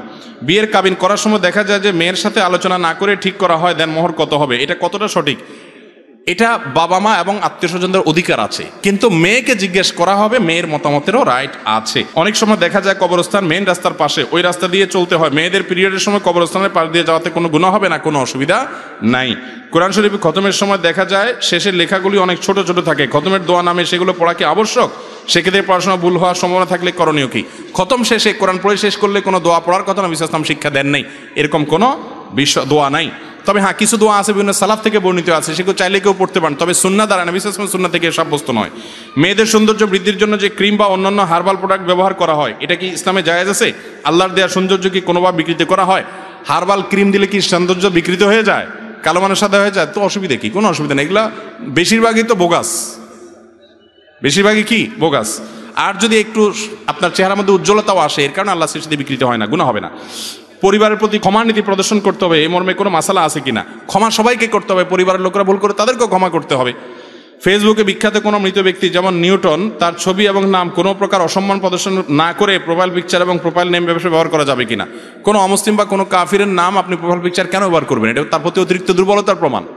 সুদের মাধ্যমে গঠিত দেহের ইবাদত আল্লাহ তালা কবুল করেন না। এমন বাবা মার সাথে জড়িত থাকে, তাহলে তাদের সাথে সন্তানের ইবাদতে কি কবুল হবে কিনা? সন্তান যদি ছোট হয়, তারটা মাপ। যদি বড় হয়, তাহলে নিজে উপার্জন করে চলবে। শুধু হারামের উপরে চলবে না। বাবার যদি মুসরি উপার্জন হয়, সেটা খেতে পারবে। হালাল আছে, হারাম আছে, এরকম হলে। মহিলারা টাকনুর উপরে কাপড় পরিধান করে, সেক্ষেত্রে অভিভাবকদের করণীয় কি? তাদেরকে বুঝাবে যে বাহিরে পরপুরুষের সামনে গেলে টাকনুর নিচে পড়বে। বাসায় পড়তে পারে টাকনুর উপর অসুবিধা নেই। দাওয়াত করে নিয়ে খাওয়ার, খাওয়ালো, তারপর সামনের টেবিল পেতে টাকা আদায় করল, এটা কি জায়জ আছে কিনা? এটা হলো ভাই ভদ্র বাসায় ডাকাতি করা। এটার নাম ভদ্র বাসায় কি করা? ডাকাত ডাকাতি করার সময় একটা অস্ত্র হাতে রাখে, আর এখানে ডাকাতি করার সময় একটা টেবিল চেয়ার কিছু পান সুপারি সামনে রাখে। পার্থক্য এটা, ডাকাতের হাতে এক জিনিস থাকে, এখানে আরেক জিনিস থাকে, জিনিস একই। আরে ভাই, হোটেলেও তো খাওয়ার পরে যাওয়ার সময় বলে বিল কত হয়েছে, আর এখানে ঢুকার সময়ই বলে আগে দেন, তারপরে ঢুকেন। ঠিক না বে, ঠিক? এটা খুব নির্লজ্জ একটা কালচার যুবকরা যারা বিয়ে করেন নাই, আপনারা প্রতিজ্ঞা করেন, আমাদের বিয়েতে এই সমস্ত এই ভিক্ষার টেবিল নিয়ে বসতে দেব না। ভাই, আপনার যদি সামর্থ্য না থাকে, আপনি শুধু ডাইল ভাত দিয়ে খাওয়ান, শুধু গোশ ভাত খাওয়ান, আপনি চার পথ করবেন, এরপরে পাবলিক থেকে চান্দা আদায় করবেন। আপনারা খাওয়াইতে বলছে কি? আপনার সামর্থ্য নেই, আপনি খাওয়ায়েন না, কিন্তু খাওয়াইবেন, আবার চান্দা নিবেন। বিয়ের দাওয়াত, আকিকার দাওয়াত পাইলে আজকাল মানুষ খুব মনে কষ্ট পায়। কেন? কারণ ফ্যামিলির চারজন মিলে চার পাশা কুড়ি। দুই হাজার টাকা হয়তো খাবে বড় জোর কিন্তু দিতে হবে পাঁচ হাজার টাকা। তাহলে তিন হাজার লস এটা উচিত না ভাই।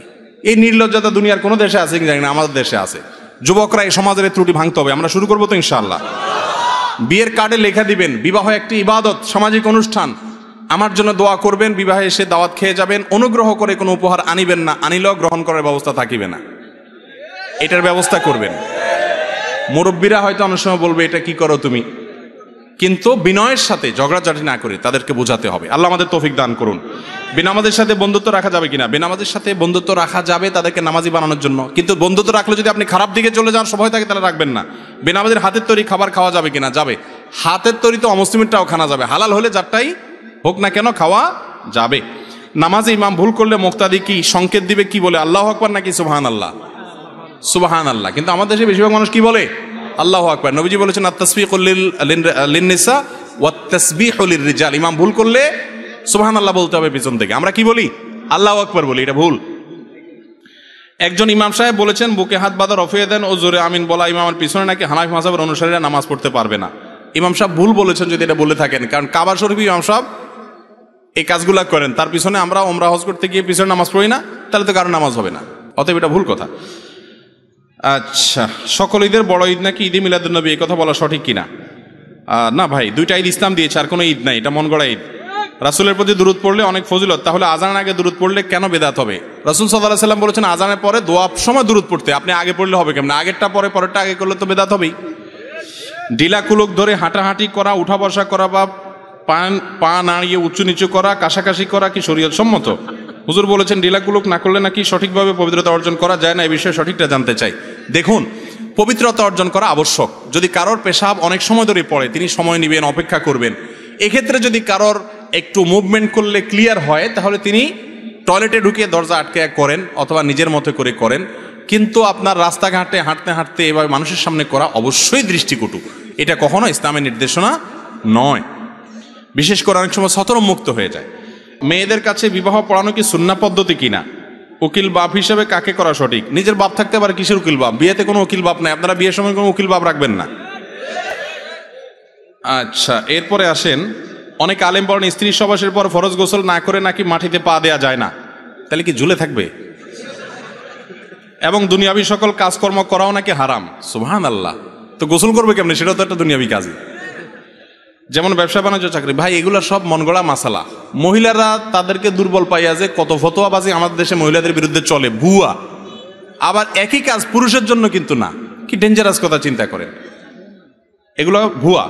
ভাই গোসল ফরজ হলে, ফরজ গোসল করার আগ পর্যন্ত অন্য নামাজের কোনো অক্ত না থাকলে দুনিয়ার কাজ করা যাবে। এই টাইমে অজু করে নিয়ে তারপর অন্য কাজ করবেন, এটাই সুন্নাত। আর যদি দ্রুত গোসল করে ফেলতে পারেন, সেটা বেশি ভালো। নামাজের কাতারে অনেক ফাঁকা ফাঁকা হয়ে দাঁড়ায়। এই ফাঁকা ফাঁকা হয়ে দাঁড়ায় মনে হয় কেউ আবার আসবে, এমন ফাঁকা রাখে। সেই জন্য তার জায়গা রাখে। এটা কি সঠিক কিনা? না, এটা যা উচিত না। নবী বলছেন, সুদ্দুল খালাল, কাতারের মধ্যকার ফাঁকা কি করো? বন্ধ করো। অহেতুক বন্ধ, ফাঁকা রাখা যাবে না। অনেকে বন্ধ করতে আসলে বলে, ভাই, গায়ের দিকে ছুটছেন কেন? একটু দূরে দাঁড়ান। এটা ঠিক না। সুন্নতের খেলাফ। করোনা কোথায়? করোনা পালায় গেছে, করোনা দুনিয়াতে আছে। তাকবিরে তাহিমের আগে মুসল্লার দোয়া পড়া মুখে উচ্চারণ করা, নিয়ত পড়া কি বেদাত? নবীজির যুগে কি মুসল্লা ছিল? তো মুসল্লার দোয়া আসবে থেকে মুসল্লার কোনো দোয়া হাদিসে নাই ভাই। মৃত ব্যক্তিকে সামনে রেখে কোরআন খতম দেয়া কি সুন্নত না বেদাত? মৃত ব্যক্তিকে সামনে রেখে কোরআন পড়ার কোনো নির্দেশ নাই। মারা গেলে দ্রুত তাকে কাফন দাফনের ব্যবস্থা করতে হবে, তার জন্য দোয়া করতে হবে। লাশ কাঁধে নেওয়ার সময় দশ কদম পর পর কাঁধ পরিবর্তন করা কি সঠিক পদ্ধতি? না। এর কোনো নির্দেশ শরীয়তে দেওয়া হয়নি, এটা আমাদের নিজেদের যে আমরা চেঞ্জ করাটাকে জরুরি মনে করি, আমরা নিজেরা বানাইছি। মৃত ব্যক্তিকে দাফন করার পর সম্মিলিতভাবে হাত তুলে কান্নাকাটি করে দোয়া করা কি সঠিক পদ্ধতি নাকি বিদাত নবীজি সাল্লাহ সাল্লাম লাশ দাফন করার পরে বলতেন, সালু লাহু আত্তাসবিদ তোমাদের ভাইয়ের জন্য আল্লাহ কাছে দোয়া করো যেন সে মন কান্নাকির প্রশ্ন উত্তর দিতে পারে। এই জন্য সবাই ইন্ডিভিজুয়াল দোয়া করবেন। নবী সাল্লাহ সাল্লাম দোয়া করেছেন। এখানে সবাইকে নিয়ে একসাথে দোয়া এবং আরও অন্যান্য দোয়া, লম্বা চড়া, এরকম কোনো কিছু হাদিস দ্বারা প্রমাণিত না। যেটুকু যেভাবে আসছে সুন্নত, সেটাই করা হলো ইসলাম। মৃত ব্যক্তিকে কেন্দ্র করে পাঁচ দিন, দশ দিন, চল্লিশ দিন প্রতি বছর মৃত্যুবার্ষিকী পালন করা কি? এটা হলো আমাদের দেশের সবচেয়ে বড় প্রচলিত বিধাত হিন্দুদের শ্রাদ্ধ অনুষ্ঠান থেকে এটা আসছে। যুবকরা গুগলে যে শ্রাদ্ধ লিখবেন, দেখবেন যে আমরা যেটা করি, মুসলমানরা এই খাওয়ানি মৃত্যুর খাওয়ানি সেম ওখান থেকে আসছে। এটা শরীয়তে বলে নাই। বরং যা, যে মারা গেছে তার আত্মীয়দেরকে সবাই খাওয়াবে। আমরা খাওয়াই অবশ্য। দু চার দিন খাওয়াই এরপরে শুধু আসলে একসাথে গরু সহ এটা উচিত না। কবর জিয়ারতের সঠিক পদ্ধতি জানতে চাই। বাংলাদেশে প্রচলিত চারকুল, তিনকুল পড়া কি শূন্য পদ্ধতি? কবর জিয়ারত করার জন্য কোরআন তেলাওয়াত করা কথা, কোরআন হাদিসে কোথাও আসনে কবর জিয়ারত করতে গিয়ে সালাম দিবেন। সালাম কি বলে দিবেন? কয়েক রকমের ভাষ্য আছে। যেমন, আসসালামু আলাইকুম আহলা দিয়ার ইবনাল মুমিনিন আল মুসলিমিন, ওয়া ইন্না ইনশা আল্লাহ তাআলা বিকুম লালাহিকুন, বা লাহিকুন। এভাবে দোয়া করা সুন্নাত। আমার দুই দাদা আছে, তারা হাসরের ময়দানে সুপারিশের জন্য মুরিদ হইছে। তাদের উদ্দেশ্যে কিছু বলেন। ভাই, এটা তো বলছি, যে পীর সাহেব আপনার জন্য সুপারিশ করবেন, ওই পীর সাহেব নিজের ইয়ানফসি ইয়ানফসি করতে করতে বেতাল থাকবে। কোত্থেকে পীর সাহেব সুপারিশ করবে? আপনারা আদম ব্যাপারী শুনছেন আদম ব্যাপারী? এই আদম ব্যাপারীর মতো অবস্থা এদের হবে। যে টাকা পয়সা, জমি জমা সব বেচে দিলেন কেন? আপনি বিদেশ যাবেন, স্বপ্ন দেখলেন বসে বৈশা আদম ব্যাপারী টাকা নিয়ে উদাও শেষ। এবার আপনি মানে হাই হাই করা ছাড়া উপায় নাই। কেমতের ময়দানে এই সমস্ত পিসাবদের কাউকে খুঁজে পাওয়া যাবে না। নবীরা যেখানে মুসা আলাহিসাল্লামের কাছে মানুষ যাবে, উনি বলবেন, আরে, আমি জানি না, নিজেকে নিয়ে পেরেশান আছি। তোমরা সামনে দেখো, মোহাম্মদকে দেখো। তারা যেহেতু নিজেরা করতে পারবেন না, কোথাকার কোন পিসাব আল্লাহর কাছে যাবে? বহুত ভুয়া দালাল দুনিয়াতে পাওয়া যায়। গোড়া এদের কাউকে পাওয়া যায় না। এরকম কোন পীর যদি বলে করবে, তাহলে তার ভণ্ড হওয়ার সবচেয়ে বড় প্রমাণ এটা। ধরতে হবে কোরআন হাদিস, কোনো ব্যক্তি না। ওই যে সোজা রাস্তা আসে না এই জন্য এই সমস্ত বাঁকা রাস্তা যায়, মানুষ ধরে যেতে পার করে দেয়। আল্লাহর কাছে এই সমস্ত দুই নম্বরই চলে না, দুনিয়াতে দালাল দিয়া চলে। আখেরাতে আল্লাহর কাছে দালাল দালালে চলে না, দুনিয়ার নেতারা ডাইরেক্ট পাওয়া যায় না, দালাল দিয়া যাইতে হয়। আমার আল্লাহর কাছে ডাইরেক্ট কানেকশন কোনো দালালের খাওয়া নাই। মসজিদের ইমাম সাহেব, হুজুর, কেরাত খুব খারাপ অবস্থা। বলতে গেলে একদম লাহানে জলি হয়। ইমাম সাহেবের কেরাতে যদি বড় ভুল হয়, তাহলে সেই ইমামকে পরিবর্তন করা এলাকাবাসীর কর্তব্য। তার পিছনে জানা মানুষ নামাজ পড়লে তাদের নামাজ হবে না, প্রয়োজন আলাদা জামাত করতে হবে। কোনো এলাকাতে এরকম থাকলে আলেমরা এলাকাবাসী মুরব্বীদেরকে বুঝাবেন। বেনামাজির জানাজা দেওয়া যাবে কিনা, এটাও বিরাট আলোচনা সাপেক্ষ বিষয়। যদি নামাজ কেউ জীবনে একবারও পড়ে নাই, নামাজকে তাচ্ছিল্য করতো, তাহলে তো সে ইসলাম দিয়ে খারিজ। কিন্তু নামাজ পড়ে নাই, অবহেলা করছে, টরছে। কিন্তু নামাজের প্রতি গুরুত্ব সে বুঝতে, বিশ্বাস করতো এই ব্যক্তিকে আমরা কাফের মনে করি না, এটাই বিশুদ্ধ মত, অতএব তার জানাজা দিতে হবে এরকম অবস্থায়। আমরা কি মোহাম্মদ সাল্লাহ সাল্লামকে বিশ্বনবী ও দুজাহানের বাদশাহ বলতে পারি? হ্যাঁ অবশ্যই। তিনি বিশ্বনবী তো, রহমতুল্লাহ আলমিন গোটা পৃথিবীর জন্য। দোনো জাহানের বাদশাহ দুনিয়াতেও আল্লাহ তালা তাকে রাজত্ব দিয়েছেন আখেরা তিনি রাজত্ব করবেন। ঠিক আছে তো? দাড়ি রাখা কি ওয়াজিব? তাহলে কতটুকু রাখতে হবে? দাঁড়িয়ে কেন বিশ্বাস লম্বা করতে বলেছেন। লম্বা করাটাই কি? সুন্নাত। খোঁচা খোঁচা দাড়ি এটা সুন্নাত নয়। হিজবুল্লাহ কারা? আমরা কীভাবে এই দলে অংশ নিব? হিজবুল্লাহ মানে আল্লাহর দল। এই সম্পর্কে সুরায় মোজাদালার বাইশ নম্বর আয়াতে আছে, সেটা পড়ে নেবেন। আর দিয়েন না প্রশ্ন, ভাই, শেষ। গ্রামের ছেলেরা যদি কোনো ইসলামিক আয়োজন বা অনুষ্ঠান করতে চায়, তাতে যদি গ্রামের কিছু মুরব্বী বাধা প্রদান করে, তাহলে ইসলামিক শরীর মোতাবেক কি করা উত্তম? মুরব্বীদেরকে তো আর বেয়াদবি করতে পারবেন না। ইসলাম কি মুরব্বীদের সাথে বেয়াদবি করতে বলে? ওনারা বুঝতেছেন না, একসময় বুঝবেন। আর যদি না বুঝেন, তো আল্লাহ তালা ওনাদেরকে ইমানের সাথে নিয়ে যাবেন ইনশাআল্লাহ একদিন। যদি ডিস্টার্ব করে। অনেক এলাকাতে আছে, খুব ডিস্টার্ব করে। যদি এরকম হয় আর কি, বুঝতে পারছেন কথা? আবার আমি বলতেছি না তাদের জন্য বদয়া দিতে। আমি বলতেছি যে একসময় তো ওনারা চলে যাবেন অথবা ওনাদের সাথে বেয়াদবি করবেন না। মুরব্বীদের সাথে আদব লেহাজ বজায় রাখবেন। অনেক যুবকরা দিনের পথে আসে বেয়াদবি করে। খবরদার, ইসলাম আমাদেরকে ভদ্রতা শিখায়। অভদ্রতা শিখায় না। মুরব্বী বাপমা তারা যদি উল্টাপাল্টাও বলে, শুনে না শুনে ভান করবেন। পারলে তাকে বুঝাবেন বা অন্য কাউকে দিয়ে বুঝাবেন, না পাইলে সবর করবেন। একসময় আল্লাহ তাদেরকে বুঝ দিবেন হয়তো, ইনশাআল্লাহ। কথা বুঝতে পারছি? খবরদার এই জন্য বেয়াদবি করবেন না। আচ্ছা অনেক প্রশ্ন। আচ্ছা একটা প্রশ্ন নেই এখানে, এটা আমাকে কেন্দ্র করে একটা প্রশ্ন আছে। আমরা জানি পবিত্র কালিমায় কোরআন মাজিদে আজানে নামাজে একামতে আল্লাহর নামের পাশে প্রিয় নবীজির নাম সংরক্ষিত আছে। কিন্তু ইউটিউবে আপনি প্রশ্নোত্তর পর্বে বলেছেন, আল্লাহর নামের পাশে নবীজির নাম নেয়া শিরিক।